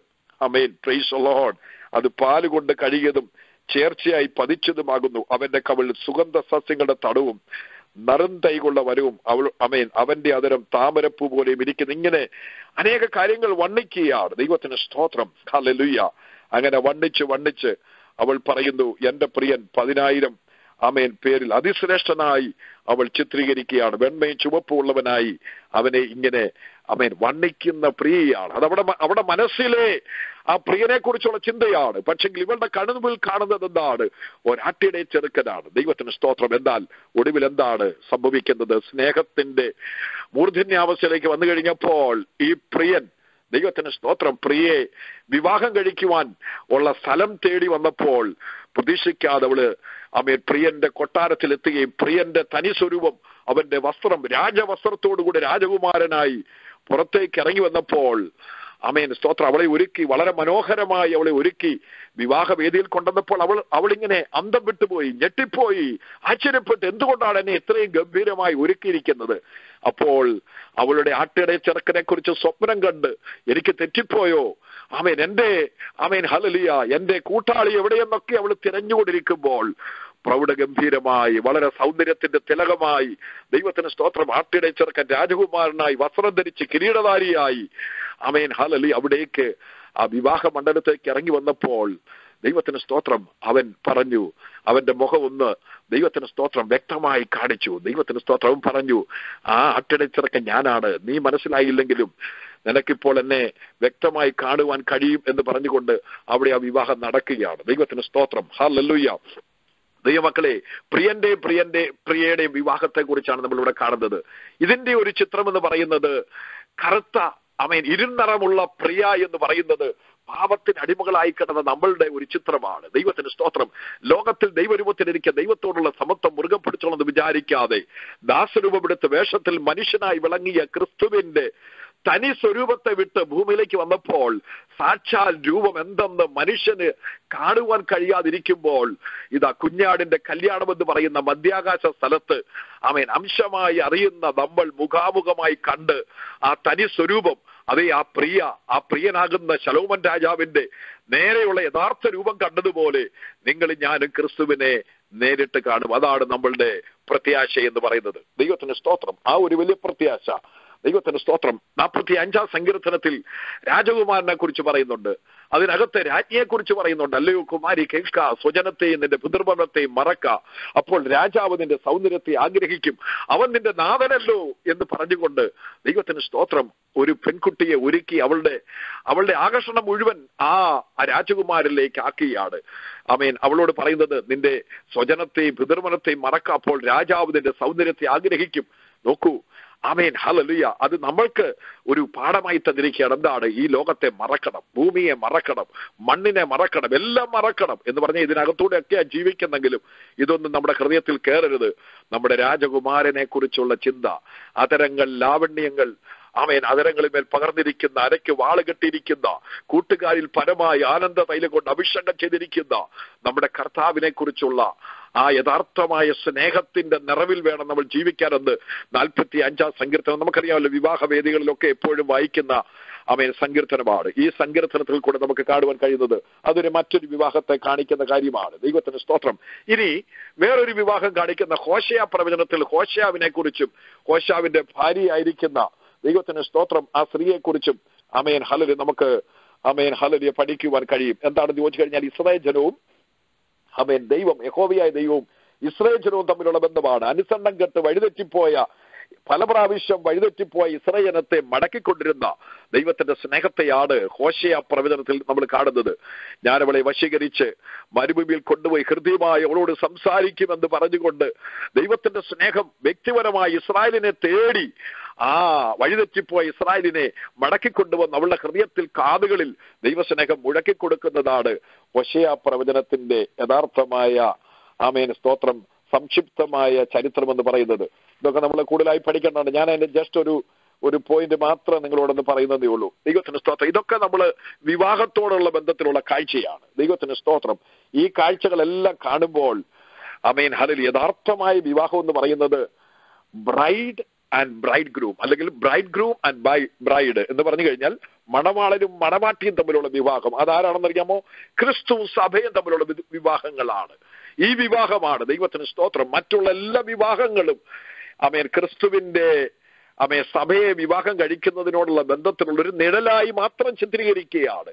അമേൻ ഹലലിയ ഈ ചിത്രീകരണം ഇസ്രായേലിന്റെ ചരിത്രത്തിലും ജാതികളുടെ ചരിത്രത്തിലും അമേ ദൈവം ചെയ്യുന്ന ആ ദൈവത്തിന്റെ കരുണയുടെയും ഔദാര്യത്തിന്റെയും മനസ്സലിവിന്റെയും ആർദ്രതയുടെയും ആ സ്നേഹ സമ്പൂർണതയുടെയും ആ സമ്പന്നതയുടെയും അമേൻ ഹലലി ആ കലവറയിൽ നിന്ന് പുറപ്പെട്ട ആ സ്നേഹം കൊണ്ട് മാത്രമാണ് ദൈവമക്കളെ ഇന്ന് രാത്രിയിൽ അമേൻ അർഹതയില്ലാത്ത അനേകർക്ക് ഈ വിവാഹത്തിൽ അമേൻ പങ്കുകൊള്ളുവാൻ ഇടയായി തീർന്നു നമ്മൾ വായിച്ച ഭാഗം എന്താണ്? ഒന്നുകൂടെ നമുക്ക് വായിക്കാം. വെളിപ്പാട് പുസ്തകം ഞാനിത് പറഞ്ഞത് എന്താന്ന് ചോദിച്ചു കഴിഞ്ഞാൽ അനേക വിവാഹങ്ങൾ ബൈബിളിൽ കൊടുത്തിട്ടുണ്ട്. ദൈവത്തിന്റെ സ്തോത്രം. ഇനി ഇവിടെ പറയുന്നത് കുഞ്ഞാടിന്റെ കല്യാണം വന്നു വല്ലോ തന്റെ കാന്തയും തന്നെ താൻ ഒരുക്കിയിരിക്കുന്നു. ദൈവത്തിന്റെ സ്തോത്രം. അപ്പോൾ കുഞ്ഞാടിന്റെ കല്യാണം വന്നു തന്റെ കാന്ത തന്നെ താൻ ഒരുക്കിയിരിക്കുന്നു. അപ്പോൾ കുഞ്ഞാടും കാന്തയുമാണ് വിവാഹത്തിലെ പ്രധാനപ്പെട്ട ആൾ. നമ്മളൊരു വിവാഹത്തിന് പോകുമ്പോൾ നമ്മളെല്ലാവരും വിവാഹത്തിന് പോകുന്നവരാണ്. പോയിട്ടുണ്ട്. ഇപ്പോഴും ആമേൻ ഒത്തിരി വിവാഹത്തിന് പോകാൻ പറ്റുന്നില്ല. ചുരുക്കം ചുരുക്കം വിവാഹത്തിനൊക്കെ പോകാൻ പറ്റുന്നുള്ളൂ. ഇപ്പോൾ ഒത്തിരി ആളുകളെ ക്ഷണിക്കുന്നില്ല. പക്ഷെങ്കിൽ വിവാഹത്തിന് ചെല്ലുമ്പോൾ ആയിരം പേരുണ്ടെങ്കിലും രണ്ടായിരം പേരുണ്ടെങ്കിലും അവിടുത്തെ പ്രധാനപ്പെട്ട ആളുകൾ എന്ന് പറയുന്നത് ആ വിവാഹം നടക്കുമ്പോൾ അവിടുത്തെ മണവാളനും മണവാട്ടിയാണ്. ദൈവത്തിന്റെ സ്തോത്രം. വിവാഹത്തിന്റെ ഏറ്റവും പ്രധാനപ്പെട്ട വ്യക്തികൾ. ദൈവത്തിന്റെ സ്തോത്രം. ആ വിവാഹം കഴിയുമ്പോൾ അവരുടെ ഇമ്പോർട്ടൻസ് തീർന്നു.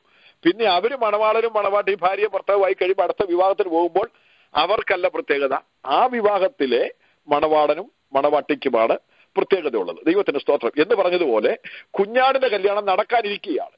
കുഞ്ഞാടാകുന്ന മണവാളനും അമേൻ സ്തോത്രം ഹാലിലിയ മണവാട്ടി അല്ലെങ്കിൽ സഭയാകുന്ന മണവാട്ടി നമ്മൾ നമ്മളാണ് ഈ ലോകത്തിൽ ദൈവത്തിന്റെ സ്തോത്ര. ദൈവമക്കൾ ഇന്ന് ലോകത്തിൽ എത്ര കോടാനുകോടി ആളുകളുണ്ടെങ്കിലും നമ്മളാണ് ഏറ്റവും അനുഗ്രഹിക്കപ്പെട്ടവര് ദൈവത്തിന്റെ സ്തോത്രം എന്നുള്ളത് നമ്മൾ മനസ്സിലാക്കണം. ഇനി ഒന്ന് രണ്ട് കാര്യങ്ങൾ ഈ നിശ്ചിത സമയത്തിനുള്ളിൽ ഞാൻ പറയട്ടെ. ദൈവത്തിന്റെ സ്തോത്രം ഹാലലുയ കുഞ്ഞാടിന്റെ കല്യാണം അമേൻ അതിനകത്ത് ഏറ്റവും പ്രധാനപ്പെട്ടവരെന്ന് പറഞ്ഞു കഴിഞ്ഞാൽ കുഞ്ഞാട് കുഞ്ഞാടിന്റെ കാന്ത. ദൈവത്തിന്റെ സ്തോത്രം. ഈ വിവാഹത്തിൽ പിതാവും പരിശുദ്ധാത്മാവും പുത്രനും ഒരുമിച്ച് സമ്മേളിക്കുന്ന വിവാഹമാണ്. കോടാനുകോടി ദൂതന്മാർ അവിടെ സമ്മേളിക്കുന്നുണ്ട്. അതുകൂടാതെ തന്നെ പഴയ നിയമ വിശുദ്ധന്മാരുണ്ട്. ദൈവത്തിന് സ്തോത്രം. കൃപായുഗത്തിലെ വീണ്ടെടുക്കപ്പെട്ട ദൈവമക്കളുമുണ്ട്. അപ്പോൾ പണ്ഡിതരന്മാരായ ആളുകൾ പ്രത്യേകം പറയുന്നത് കുഞ്ഞാടിന്റെ കാന്ത എന്ന് പറയുന്നത് പുതിയ നിയമസഭ അല്ലെങ്കിൽ വീണ്ടെടുക്കപ്പെട്ട ദൈവമക്കൾ. യേശുവിന്റെ രക്തത്താൽ വീണ്ടെടുക്കപ്പെട്ട ദൈവമക്കൾ. വീണ്ടും ജനിച്ച വചനത്താൽ വീണ്ടും ജനിച്ച രക്തത്താൽ വീണ്ടെടുപ്പ് പ്രാപിച്ച ദൈവമക്കൾ മാത്രമേ ഉള്ളൂ കുഞ്ഞാടിന്റെ കാന്ത അല്ലെ മണവാട്ടിയ സഭയിൽ ഉള്ളൂ എന്നുള്ളത്. അത് ദൈവത്തിന്റെ സ്തോത്രം. അത് വളരെ വസ്തുനിഷ്ഠമായി വളരെ കൃത്യമായി പറയുന്ന ഒരു കാര്യമാണ്. ദൈവത്തിന്റെ സ്തോത്രം. ഇനി പഴയ ദൈവത്തിന്റെ വിശുദ്ധന്മാർ അതിനകത്ത് കയറി വന്നാലും നമുക്കാർക്കും കുഴപ്പമില്ല. പക്ഷെങ്കിൽ അങ്ങനെ ഒരു ആശയവും അർത്ഥവുമാണ് അങ്ങനെ ഒരു പഠനമാണ് തൊണ്ണൂറ്റൊമ്പത് ശതമാനവും പണ്ഡിതന്മാരുടെ ഉള്ളിൽ നിന്ന് അമേന സ്തോത്രം നമുക്ക് മനസ്സിലാക്കുവാൻ കഴിഞ്ഞിരിക്കുന്നത്. എന്താണെങ്കിലും ദൈവമക്കൾ ഒരു കാര്യം ഓർക്കണം എന്നെ കേൾക്കുന്ന പ്രിയപ്പെട്ടവരെ നിങ്ങളും ഞാനും വളരെ ഭാഗ്യമുള്ളവരാണ്. എന്താ കാര്യം? നമുക്ക് കൃപായുഗത്തിൽ ജനിക്കാനും യേശുവിനെ രക്ഷിതാവും കർത്താവായി സ്വീകരിപ്പാനും നമ്മൾ യഹൂദരായി ജനിച്ചില്ലെന്നോർത്ത് ഒരു പ്രയാസവുമില്ല. നമ്മൾ ദൈവമക്കൾ ആയി തീർന്നു നമ്മൾ ഏത് പാരമ്പര്യത്തിൽപ്പെട്ടവരായിരുന്നാലും വൺ ഓ വൺ റിലേഷൻഷിപ്പിലേക്ക് നമ്മൾ വന്നു ദൈവമായിട്ട് ക്രിസ്തുവിലേക്ക് നമ്മൾ വന്നു. കർത്താവിനെ നമ്മൾ രക്ഷിതാവും കർത്താവായി സ്വീകരിച്ചു. കർത്താവിന്റെ അവൻ ദൈവത്തിന്റെ മക്കളായി നമ്മൾ തീർന്നു. ക്രിസ്തുവിന്റെ മണവാട്ടിയായി തീർന്നു. ക്രിസ്തുവിന്റെ അവൻ ക്രിസ്തുവിനോടുകൂടെ നമ്മൾ കൂട്ടവകാശിയായി തീർന്നു. സ്വർഗത്തിലെ സകല ആത്മീയ അനുഗ്രഹങ്ങളാലും നമ്മൾ അർഹതപ്പെട്ടവരായി തീർന്നു. ദൈവത്തിന്റെ സ്തോത്രം. ഭൂമി ജീവനും ഭക്തിക്കും ഒക്കെ തരുന്നെങ്കിലും ഇതൊക്കെ മരണം കൊണ്ട് അവസാനിക്കുമ്പോൾ ദൈവത്തിന്റെ സ്തോത്രം. നമുക്ക് ദൈവത്തുത്തനായ യേശുവിനോടുകൂടെ സ്വർഗത്തിൽ അവൻ നിര സ്ഥിരമായി നിൽക്കുന്ന ഉത്തമ സമ്പത്ത് നമുക്ക് സ്വർഗത്തിലുണ്ട് ആ സമ്പത്തിന് നമ്മളെ കൂട്ടവകാശികളാക്കി ദൈവം തീർത്തിരിക്കുകയാണ്. നമ്മൾ ഈ പഠിക്കുന്ന കാര്യങ്ങളൊക്കെ പഠിക്കുന്നതും കേൾക്കുന്നതും ഒക്കെ കേൾക്കുമ്പോൾ നമുക്ക് കിട്ടുന്ന അറിവെന്ന് പറഞ്ഞു കഴിഞ്ഞാൽ ഒരു അംശമായ കാര്യമുള്ളൂ. നമ്മൾ യഥാർത്ഥമായി നമ്മൾ ആ സ്ഥലത്തേക്ക് എത്തിക്കഴിയുമ്പോഴാണ് നമ്മുടെ നമ്മുടെ ഈ മാനുഷിക ശരീരം കൊണ്ടല്ല മഹത്വ ശരീരം കൊണ്ട് പോലും ആശ്ചര്യം തോന്നുമാറ്. മനുഷ്യന്റെ ഹൃദയത്തിൽ തോന്നിയിട്ടില്ല കണ്ടു കണ്ടിട്ടില്ല ചെവി കേൾക്കാത്ത രീതിയിലുള്ള ഭയങ്കരമായ കാര്യങ്ങളായിരിക്കും നിത്യത പ്രവേശനത്തിലേക്ക് നമ്മൾ പ്രവേശിക്കുമ്പോൾ നമ്മൾ കാണാനും അനുഭവിക്കുവാനും ജീവിക്കാനും പോകുന്നത്. ദൈവത്തിന് സ്തോത്രം. ദൈവമക്കളെ ഇത്ര വലിയ ഒരു രക്ഷ എന്ന് പറയുമ്പോൾ ഇത്ര വലിയ സൗഭാഗ്യം എന്ന് പറയുമ്പോൾ ഇത്ര വലിയ സന്തോഷം എന്ന് പറയുമ്പോൾ ദൈവമക്കൾ അതിന്റെ ആഴങ്ങളും അർത്ഥങ്ങളും മനസ്സിലാക്കണം. നമ്മുടെ മാനുഷിക ബുദ്ധിയിൽ നിഗമിക്കുവാനോ ഗ്രഹിക്കുവാനോ ചിന്തിക്കുവാനോ അതിനെ കണക്കൂട്ടിയെടുക്കുവാനും കഴിയാത്ത ഭയങ്കരമായ കാര്യങ്ങളാണ്. പുതിയ അരിശിലേമനെ കുറിച്ചൊക്കെ അമ്മൻ വെളിപ്പാട് പുസ്തകം അടുത്ത അധ്യായങ്ങളിലൊക്കെ പറയുന്നുണ്ടെങ്കിലും നമ്മൾ ഈ വായിക്കുന്നത് ഒരു ലഘുവായ ആമേൻ കാര്യം മാത്രമേ നമുക്ക് ഗ്രഹിക്കാൻ പറ്റത്തുള്ളൂ. നമ്മുടെ ഈ ബുദ്ധി കൊണ്ട് ഗ്രഹിക്കുന്ന ഒരു പുതിയ റസലേമിന്റെ ചിത്രമായിരിക്കത്തില്ല നമ്മൾ നിത്യതയിലേക്ക് പ്രവേശിക്കുമ്പോൾ നമ്മൾ കാണുവാൻ പോകുന്നത്. ദൈവത്തിന്റെ സ്തോത്രം. നമ്മുടെ കർത്താവ് അങ്ങനെയെങ്കിൽ യഥാർത്ഥ ദൈവപുത്രനെ കുറിച്ചുള്ള ആ വെളിപ്പാട് നമുക്ക് ഇപ്പോൾ അല്പമായി കിട്ടിയിട്ടുണ്ട്. പൂർണമായി പിതാവിനെ കുറിച്ചും ദൈവത്തനായ ക്രിസ്തുവിനെ കുറിച്ചും പരിശുദ്ധാത്മാവിനെ കുറിച്ചുമുള്ള മുഖാമുഖമായി കാണുമ്പോൾ എത്ര ഭയങ്കരമായിരിക്കുമെന്നുള്ളത് ദൈവം ആരാണെന്നുള്ളത് ആ ഗംഭീരത ആ അമേൻ ആ ഭയങ്കരത്വം ദൈവത്തിന്റെ സ്തോത്രം നമ്മൾ നേരിട്ട് കാണാൻ പോവുകയാണ്. അത് ഒരു സന്തോഷകരമായ ഒരു അനുഭവമാണ്. അവിടെ നമ്മൾ സന്തോഷിക്കും. ദൈവമക്കളെ പറഞ്ഞ വിഷയം ഇതാണ്. കുഞ്ഞാടിന്റെ കാന്തയായി നമ്മൾ തീർന്നു. നാം എത്ര ഭാഗ്യമുള്ളവരാണ്. ദൈവത്തിന്റെ സ്തോത്രം. എനിക്ക് ഒത്തിരി വാക്യങ്ങളൊക്കെ വായിപ്പിക്കണമെന്നുണ്ടായിരുന്നു. പക്ഷേ ഈ കാര്യങ്ങൾ പറഞ്ഞു പോകുമ്പോൾ സ്പീഡിൽ അങ്ങ് പോകുന്നത് കൊണ്ട് ഒത്തിരി വാക്യങ്ങൾ വായിപ്പിക്കാൻ സാധിക്കുന്നില്ലെങ്കിൽ കാര്യങ്ങൾ നിങ്ങൾ കേട്ട് ഗ്രഹിക്കുക. കുഞ്ഞാടിന്റെ കാന്തയായി നമ്മൾ മാറി. ദൈവത്തിന്റെ സ്തോത്രം. അടുത്തത് അല്ലല്ലേ കുഞ്ഞാടിന്റെ കല്യാണത്തിന് ക്ഷണിക്കപ്പെട്ടിരിക്കുന്നവർ ഭാഗ്യവാന്മാർ. എന്ന് പറയുമ്പോൾ ഈ എപ്പോഴും നമ്മൾ വിവാഹത്തോടുള്ള ബന്ധത്തിൽ കാണുന്നത് യഹൂദന്മാരുടെ വിവാഹത്തിലാണെങ്കിലും ദൈവത്തിന് സ്തോത്രം റിബേക്കെ കൊണ്ടുവരുമ്പോഴാണെങ്കിലും ഒക്കെ നമുക്ക് അതെ എസ്തേറിനെ കൊണ്ടുവരുമ്പോഴാണെങ്കിലും ഒക്കെ നമുക്ക് കന്യകമാരെ കാണുന്നുണ്ട്. ദൈവത്തിന്റെ സ്തോത്രം തോഴിമാരെ കാണുന്നുണ്ട്.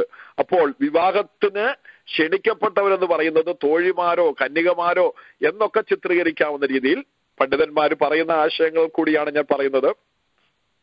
പഴയ നിയമ വിശുദ്ധന്മാർക്ക് ആ ഒരു അവകാശമാണ് കിട്ടുന്നത്. അവരാരും നരകത്തിൽ പോകുന്നില്ല. വിശുദ്ധന്മാരെല്ലാം സ്വർഗത്തിൽ പോകുന്നെങ്കിലും മണവാട്ടിയായി തീരുന്നില്ല എന്ന് പറയുന്നു. ദൈവത്തിന് സ്തോത്രം. എന്താണെങ്കിലും അവരെയും കൂടെ മണവാട്ടി പദത്തിലേക്ക് ചേർത്തിരുന്നെങ്കിൽ അത് നല്ലതായിരുന്നെന്ന് നമുക്ക് വേണമെങ്കിൽ ആഗ്രഹിക്കാം. എന്നാലും ദൈവിക പ്രോഗ്രാമുകളെ ഒന്നും നമുക്ക് മാറ്റാനും കൂട്ടാനും കുറയ്ക്കാനും ഒന്നും നമ്മളെ കൊണ്ട് സാധിക്കത്തില്ല. കുഞ്ഞാടിന്റെ കല്യാണത്തിന് ക്ഷണിക്കപ്പെട്ടവർ ഭാഗ്യവാന്മാരെന്ന് ഒമ്പതാമത്തെ വാക്യം വായിക്കുന്നു. ആമേൻ. അത് എന്ന് എഴുതുക എന്ന് പറഞ്ഞു. ദൈവത്തിന് സ്തോത്രം. ഇത് ദൈവത്തിന്റെ സത്യവചനം. ഞാൻ ഇത്രയും കാര്യങ്ങൾ നിങ്ങൾ ഓർപ്പിച്ചപ്പോൾ കുഞ്ഞാടിന്റെ കല്യാണം എന്നുള്ള കാര്യം നമ്മൾ കണ്ടു. ഇനി നിങ്ങളോട് ആരും പൊട്ടിത്തെറിക്കരുത് ആരും പ്രയാസപ്പെടരുത്. ഭൂമിയിലുള്ള വിവാഹം പോലെ ഒരു ഭാര്യ ഭർത്താവ് വിവാഹം വിവാഹവും അതിനുശേഷമുള്ള ജീവിതം പോലെയാണ് ഈ സ്വർഗത്തിലെ കുഞ്ഞാടിന്റെ കല്യാണം എന്ന് ആരും വിചാരിക്കരുത്. ദൈവത്തിന് സ്തോത്രം. ഇവിടെ നമ്മൾ കാണുന്നത് ഒരു ഭാര്യയ്ക്കും ഭർത്താവിനും തമ്മിലുള്ള സ്നേഹബന്ധം അവരുടെ അവരെ രണ്ട് ഒന്നാക്കി തീർക്കുക. ദൈവത്തിന് സ്തോത്രം. ഹലലുയ അവർ ഉടമ്പടിയിൽ കൂടെയും ഉഭയസമ്മതത്തിൽ കൂടെയും ഒന്നായി തീരുക. ദൈവത്തിന് സ്തോത്രം.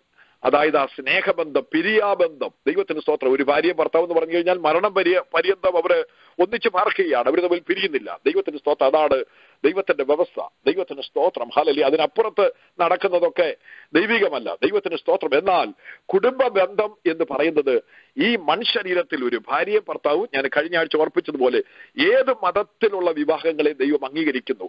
എന്നാൽ ക്രിസ്തീയ വിശ്വാസത്തിലുള്ള വിവാഹത്തിന് കുറച്ചുകൂടെ ആക്കവും തൂക്കവും ഉണ്ട് കാരണം ദൈവത്തിന് സ്തോത്രം. കാരണം എന്ന് കഴിഞ്ഞാൽ കഴിഞ്ഞാൽ അത് ദൈവികമായ ഒരു പ്രത്യേക നിലയിലുള്ള വിവാഹമാണ്. എന്നാൽ ഏത് ആമേൻ മതത്തിലോ ഏത് ആമേൻ മീൻ ഏരിയയിലുള്ള ആളുകൾ വിവാഹം കഴിച്ചവരും വിശ്വാസം വരുമ്പോൾ വീണ്ടും അവരെ രണ്ടാമത് വിവാഹം ഒന്നും കഴിപ്പിക്കുന്നില്ല. ദൈവത്തിന് സ്തോത്രം. ഞാൻ പറഞ്ഞു വരുന്ന വിഷയം ഇതാണ്. ഈ ഭൂമിയിൽ നടക്കുന്ന വിവാഹം പോലെ അങ്ങനെ ഒരു ജീവിതം അല്ല ദൈവത്തിന് സ്തോത്രം മധ്യാകാശത്ത് നടക്കുന്നത്. ദൈവത്തിന് സ്തോത്രം.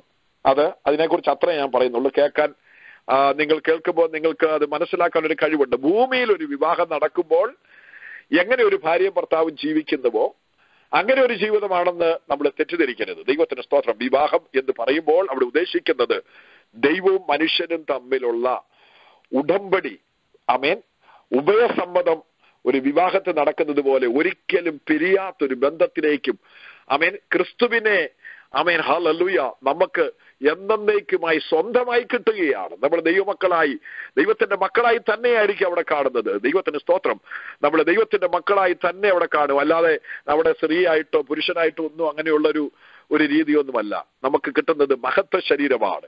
ദൈവത്തിന് സ്തോത്രം. നമുക്ക് കിട്ടുന്നത് ക്രിസ്തു പ്രത്യക്ഷനാകുമ്പോൾ ക്രിസ്തുവിനെ പോലുള്ള ഒരു മഹത്വ ശരീരമാണ്. അതിന് ഒത്തിരി വാക്യങ്ങളുണ്ട്. അമീൻ നമ്മൾ ആദാമിന്റെ പ്രതിമ ധരിച്ചതുപോലെ ക്രിസ്തുവിന്റെ പ്രതിമ ധരിക്കും. അമീൻ നമ്മുടെ താഴ്ചയുള്ള ശരീരത്തെ അവിടുത്തെ മഹത്വമുള്ള ശരീരത്തോട് അനുരൂപമായി രൂപാന്തരപ്പെടുത്തും. അതുകൂടാതെ തന്നെ തേജസ്സിന്മേൽ തേജസ് പ്രാപിച്ച് ആമേൻ നമ്മൾ ക്രിസ്തുവിന്റെ രൂപത്തിലേക്ക് നമ്മൾ മാറും. ദൈവത്തിന്റെ പുത്രനായ യേശുവിന്റെ ആ രൂപത്തോട് സദൃശ്യമായി റോമാലകരം പറയുന്നു. നമ്മളെ അനുരൂപമായി നമ്മളെ പണിതെടുക്കുകയാണ്. ചുരുക്കം പറഞ്ഞു കഴിഞ്ഞാൽ നമ്മൾ ക്രിസ്തു എങ്ങനെ ഇരിക്കുന്നുവോ അതുപോലെ നമ്മളും ഇവിടെ നിന്ന് ഉയർത്തു കഴിയുമ്പോഴോ അല്ലെങ്കിൽ കർത്താവ് വരുമ്പോൾ ആമേൻ ജീവനോടിരിക്കുന്നവർ രൂപാന്തരപ്പെട്ട് എടുക്കുമ്പോഴോ കിട്ടുന്ന ശരീരം എന്ന് പറഞ്ഞു കഴിഞ്ഞാൽ കർത്താവിനുള്ള മഹത്വ ശരീരം പോലുള്ള ഒരു ശരീരമാണ് കിട്ടാൻ പോകുന്നത്. ഈ ശരീരം കിട്ടുമ്പോൾ ഒരു കാര്യം ഓർത്തുകൊള്ളണം. കർത്താവിനുള്ളതുപോലെ ശരീരം കിട്ടിയാലും നിത്യത മുഴുവൻ നിത്യത എന്ന് പറഞ്ഞു കഴിഞ്ഞാൽ അതിന്റെ അർത്ഥം അവസാനമില്ലാത്ത യുഗങ്ങൾ അനന്ത യുഗങ്ങളാണ്. അവസാനമില്ലാത്ത യുഗങ്ങളിൽ ദൈവത്തോടുകൂടെ നമ്മൾ പാർക്കുമ്പോൾ എല്ലാവരും അറിഞ്ഞിരിക്കേണ്ട ഒരു കാര്യം. ദൈവം ഏകനാണ്. പിതാവ് പുത്രൻ പരിശുദ്ധാൻ ബാബാം ദൈവം. ദൈവം എന്നും ദൈവവും. നമ്മൾ ദൈവത്തിന്റെ പുത്രനായ ക്രിസ്തുവിന്റെ ശരീരത്തെ പോലെ ഒരു ശരീരമൊക്കെ കിട്ടിയാലും നമ്മൾ ആരും ദൈവമാകത്തില്ല. ദൈവത്തിന്റെ സ്തോത്രം. ദൈവം താൻ അവരുടെ ദൈവമായി അവരോടുകൂടെ വസിക്കും. വാക്യം നമുക്ക് വെളിപ്പാട് പുസ്തകത്തിൽ തന്നെ ദൈവത്തിന്റെ സ്തോത്രം ഇന്ന് രാത്രിയിൽ അത് വായിപ്പിക്കാൻ നേരമില്ലാത്തത് കൊണ്ട് നമ്മൾ മധ്യാകാശത്തേക്ക് പ്രവേശിക്കുമ്പോൾ ഒരിക്കലും ഒരിക്കലും നമ്മുടെ ഉള്ളിൽ നിന്ന് വിട്ടുപോകാത്തൊരു വലിയ സന്തോഷത്തിലേക്ക് നമ്മൾ എത്തിച്ചെല്ലുകയാണ്. പ്രൈസ് അലോട്ട് ഇവിടുത്തെ ദുഃഖമോ ഇവിടുത്തെ കണ്ണീരോ ഇവിടുത്തെ രോഗമോ ഇവിടുത്തെ പ്രയാസമോ ഇവിടുത്തെ അപവാദമോ ഇവിടുത്തെ ദുഷിയോ ഇവിടുത്തെ പഴിയോ ഇതൊന്നും വിഷയമല്ല. ആരൊക്കെ എന്തൊക്കെ പറഞ്ഞെന്ന് പറഞ്ഞാലും യേശുവിന്റെ രക്തത്താൽ വീണ്ടെടുത്ത് പ്രാപിച്ച ദൈവമക്കൾ ആത്മാർത്ഥമായി കർത്താവിനെ സ്നേഹിച്ചു നിൽക്കുമ്പോൾ കാകള ശബ്ദം കേൾക്കുമ്പോൾ കൃപയാൽ അവരങ്ങ് എടുക്കപ്പെടും. ദൈവത്തിന് സ്തോത്രം. രാത്രിയിൽ ഈ ഒരു വലിയ പ്രത്യാശ നമുക്കുണ്ടായിരിക്കണം. ഈ ഒരു വലിയ ആമേൻ ഹതിൽ ദൈവം തരുന്ന പ്രത്യാശ നമ്മളെ സന്തോഷിപ്പിക്കണം.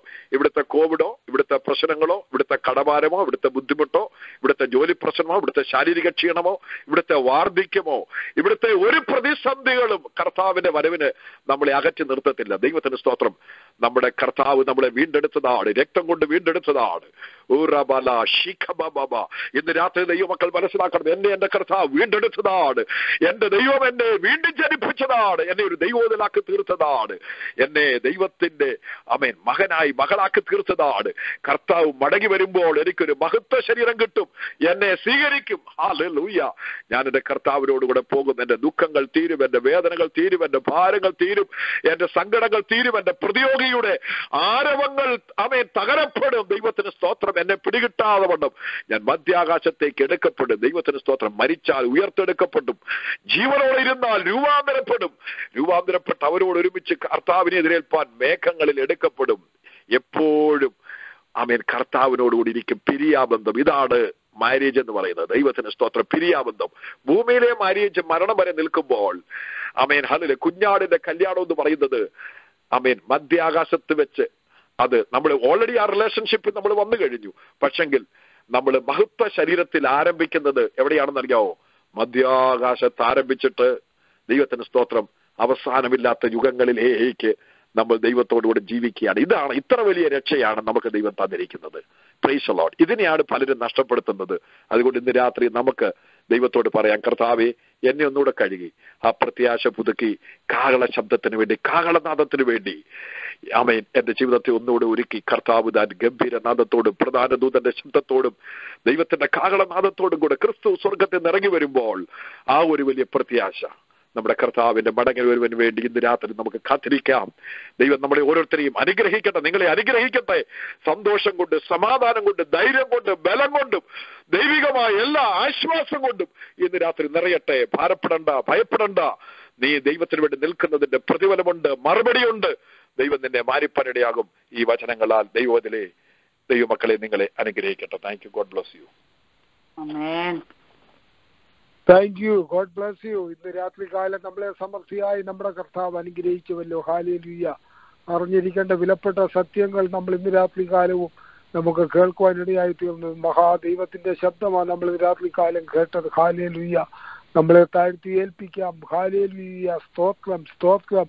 ഒരു കല്യാണം. ഹാലിയ മധ്യാകാശത്തിൽ നടക്കുന്നു. ഹാലേലുയ്യ ആ വിവാഹ സത്യക്ക് ക്ഷണിക്കപ്പെട്ട ഒരു ഭാഗ്യവാന്മാർ. ഹാലിയ നമ്മൾ ഭാഗ്യവാന്മാരാകുന്ന സ്തോത്രം അനേകര് പുറംപറമ്പിൽ എറിയപ്പെട്ടവരായി കഴിഞ്ഞുകൂടുമ്പോൾ പുറംപറമ്പിൽ എറിയപ്പെട്ട നമ്മളെ മക്കളും അവകാശികളുമാക്കി തീർന്ന ദൈവത്തെ നമുക്ക് നന്ദിയോടെ സ്തുതിച്ച് സ്തോത്രം ചെയ്യാൻ നമ്മുടെ പദവി നാം മറന്നു പോകരുത്. ഹലേലുയ്യ ഹാലേലുയ്യ ഇന്ന് രാത്രികാലം വചനത്തിന്റെ വാതിൽ ദൈവഭക്തന് ദൈവം തുറന്നു കൊടുത്തുവല്ലോ. ഹാലേലിയ തേജസിന്റെ ശുശ്രൂഷ ഈ രാത്രികാലം അവിടുന്ന് വെളിപ്പെടുത്തിയതിനായി നമുക്ക് ദൈവത്തെ നന്ദിയോടെ സ്തുതിക്കാം. ഹാലേലിയ അത് മാത്രമല്ല ഹാലേലിയ ദൈവത്തിന്റെ മാറ്റമില്ലാത്ത സത്യം വിളിച്ച് ഹാലേലിയ ദൂത അറിയിച്ചതായ ഹാലേലിയ ദൂതന്റെ കാൽക്കൽ വീടു എന്ന് വാ- വായിക്കുന്നു. ഹാലേലിയ സ്തോത്രം. ഓ സ്തോത്രം.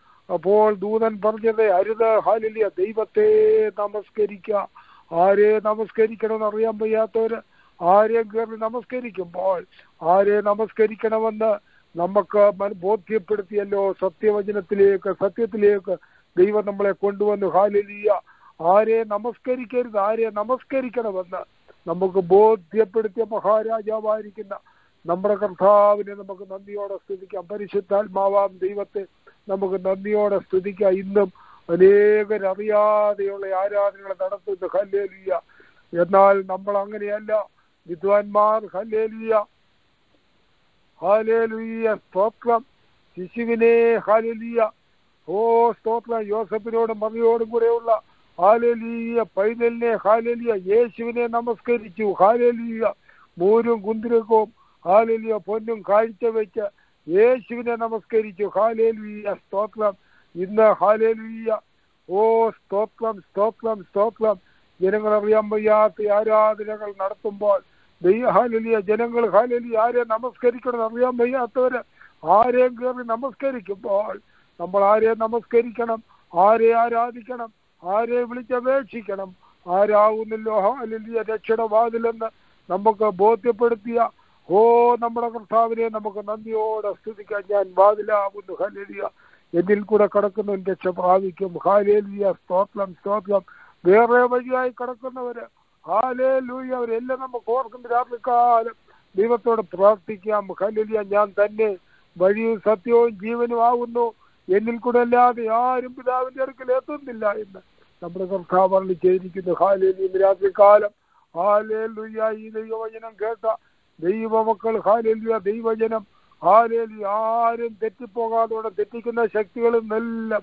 ഹാലേലൂയ ദൈവം വിടുവിച്ച് പരിശുദ്ധാത്മാവാം ദൈവം. നമ്മളെ ലക്ഷ്യസ്ഥാനത്ത് കൊണ്ടെത്തിക്കും ഹാലേലുയ്യ ഒരു വിവാഹം നടക്കുവാൻ പോകുന്നു. സ്തോത്രം സ്തോത്രം. ആ സദ്യ കല്യാണ സദ്യക്ക് ആ വിവാഹത്തിന് ക്ഷണിക്കപ്പെട്ട ഒരു ഭാഗ്യവാന്മാർ നമ്മൾ ഭാഗ്യവാന്മാരാണ്. നമുക്ക് വീണ്ടും പ്രാർത്ഥിക്കാം. ഞങ്ങളുടെ നല്ല ദൈവമേ സ്വർഗസ്ഥ പിതാവേ പരിശുദ്ധാത്മാവാം ദൈവമേ നന്ദിയുള്ള ഹൃദയത്തോടെ വിലപ്പെട്ട തിരുനാമത്തിന് അടികൾ സ്തോത്രം ചെയ്ത് സ്തുതിക്കുന്ന. വചനത്തിന്റെ വാതിൽ അങ്ങയുടെ ഭക്തനെ തുറന്നു കൊടുത്തുവല്ലോ. ഹാലേലിയ അടികളെ കേൾപ്പിച്ച് അവിടുത്തെ വിലപ്പെട്ട ശബ്ദത്തിന്റെ മുമ്പിൽ അടുങ്ങളെ താഴ്ത്തി ഏൽപ്പിക്കുന്ന നാഥ ഇന്നും ഹാലിയ ഇടം കൈയും വലം കൈയും അറിയാത്തവരായി. കർത്താവെ സ്തോത്രം. ആരെ ആരാധിക്കണം? ആരെ നമസ്കരിക്കണം? അറിയാൻ വയ്യാത്തവർ കർത്താവെ ലോകത്തിന്റെ എത്രയോ ലക്ഷങ്ങൾ. ഹാലേലിയ. അവരെല്ലാം അവിടുത്തെ മക്കളായി മാറുവാൻ. യേശുവിനെ നമസ്കരിക്കുവാൻ. അടുങ്ങൾ ദൈവത്തോടെ പ്രാർത്ഥിക്കുന്നു. ഒരാത്മാവിന്റെ വില ഈ മുഴുവൻ ലോകത്തെക്കാൾ വലുതെന്നാണ് ചെയ്തിരിക്കുമ്പോൾ ആരും നശിച്ചു പോകാൻ ഈ സത്യത്തിലേക്ക് ഈ പുതിയ നിയമ സത്യങ്ങൾ മനസ്സിലാക്കുവാൻ ഗ്രഹിപ്പാനുള്ള ബുദ്ധി ഞാൻ തിരിച്ചറിയുന്ന ഹൃദയങ്ങൾ നൽകി മാനിക്കണമേ എന്ന് പ്രാർത്ഥിക്കുന്നു. ആരും നശിച്ചു പോകാൻ ഇടവരരുത് കർത്താവി.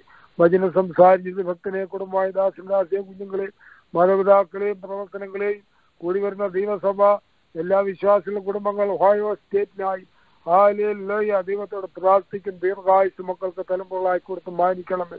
പുറങ്ങളെ നിരന്ന മക്കളെയും അവിടുത്തെ നാമം ചൊല്ലി അനുഗ്രഹിക്കുന്ന എല്ലാവരെയും അവിടുത്തെ നാമത്തിൽ വിശ്വാസി കുടുംബങ്ങളെയും കർത്താവെ പുറങ്ങളിൽ കടന്നു വരുവാൻ അതിൽ നിന്ന് കഴിയാത്തവരെ നിങ്ങൾ അനുഗ്രഹിച്ച് പ്രാർത്ഥിക്കുന്നു.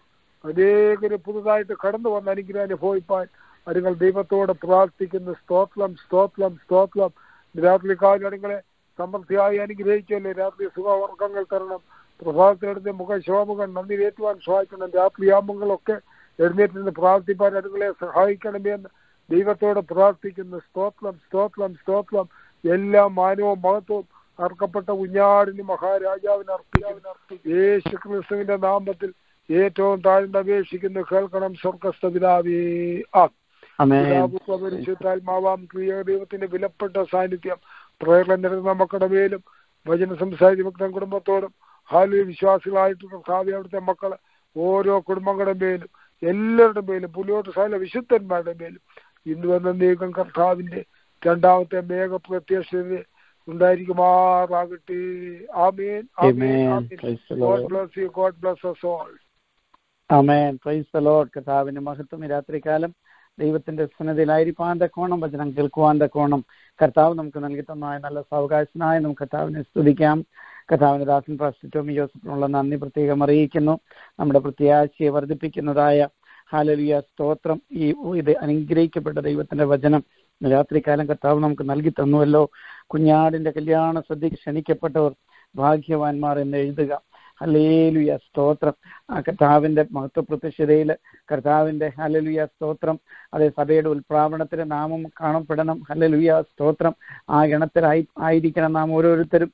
ഹലലുയ അതിനായിട്ട് നമ്മുടെ ജീവിതത്തെ ശുദ്ധീകരിച്ച് ഹലലുയ സ്തോത്രം ക്രമപ്പെടുത്തി നമുക്ക് വിശുദ്ധിയോടെ കാത്തിരിക്കാം. കർത്താവ് നമ്മെ സഹായിക്കട്ടെ. രാത്രികാലം അതിനെ ശ്രമിച്ച് എല്ലാവരും ഉള്ള നന്ദി പ്രത്യേകം അറിയിക്കുന്നു. ദൈവമായ കർത്താവ് എല്ലാവരെയും അനുഗ്രഹിക്കുമാറാകട്ടെ. ഈ സെഷൻ എഴുതിയത് കർത്താവിന്റെ ദാസൻ പ്രിയ അനിയച്ചാനുള്ള നന്ദി അറിയിക്കുന്നു. പാട്ടുപാടിയതായ മകളെ കർത്താവ് അനുഗ്രഹിക്കട്ടെ. സ്തോത്രം നന്ദിയോടെ സ്തോത്രം.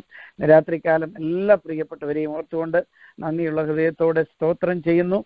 നാളെ രാവിലെ അഞ്ചു മണിക്ക് മധ്യസ്ഥ പ്രാർത്ഥനയും ഉച്ചയ്ക്ക് നടക്കുന്ന സെഷനും വൈകിട്ടത്തെ ബൈബിൾ സ്റ്റഡിയും ഒക്കെയും അനുഗ്രഹമായിരിക്കട്ടെ. പ്രാർത്ഥനയോടെ നമുക്കതിൽ പങ്കെടുക്കാം.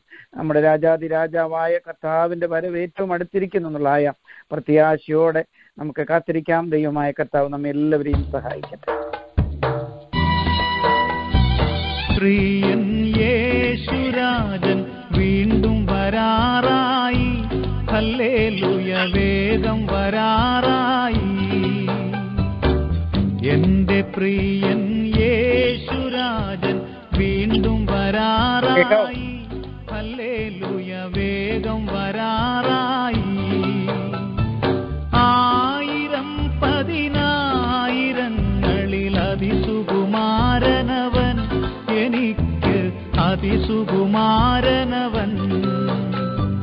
ആയിരം പതിനായിരങ്ങളിൽ അതിസുകുമാരനവൻ എനിക്ക് അതിസുകുമാരനവൻ. എന്റെ പ്രിയൻ യേശുരാജൻ വീണ്ടും വരാറായി. ഹല്ലേലൂയ വേഗം വരാറായി.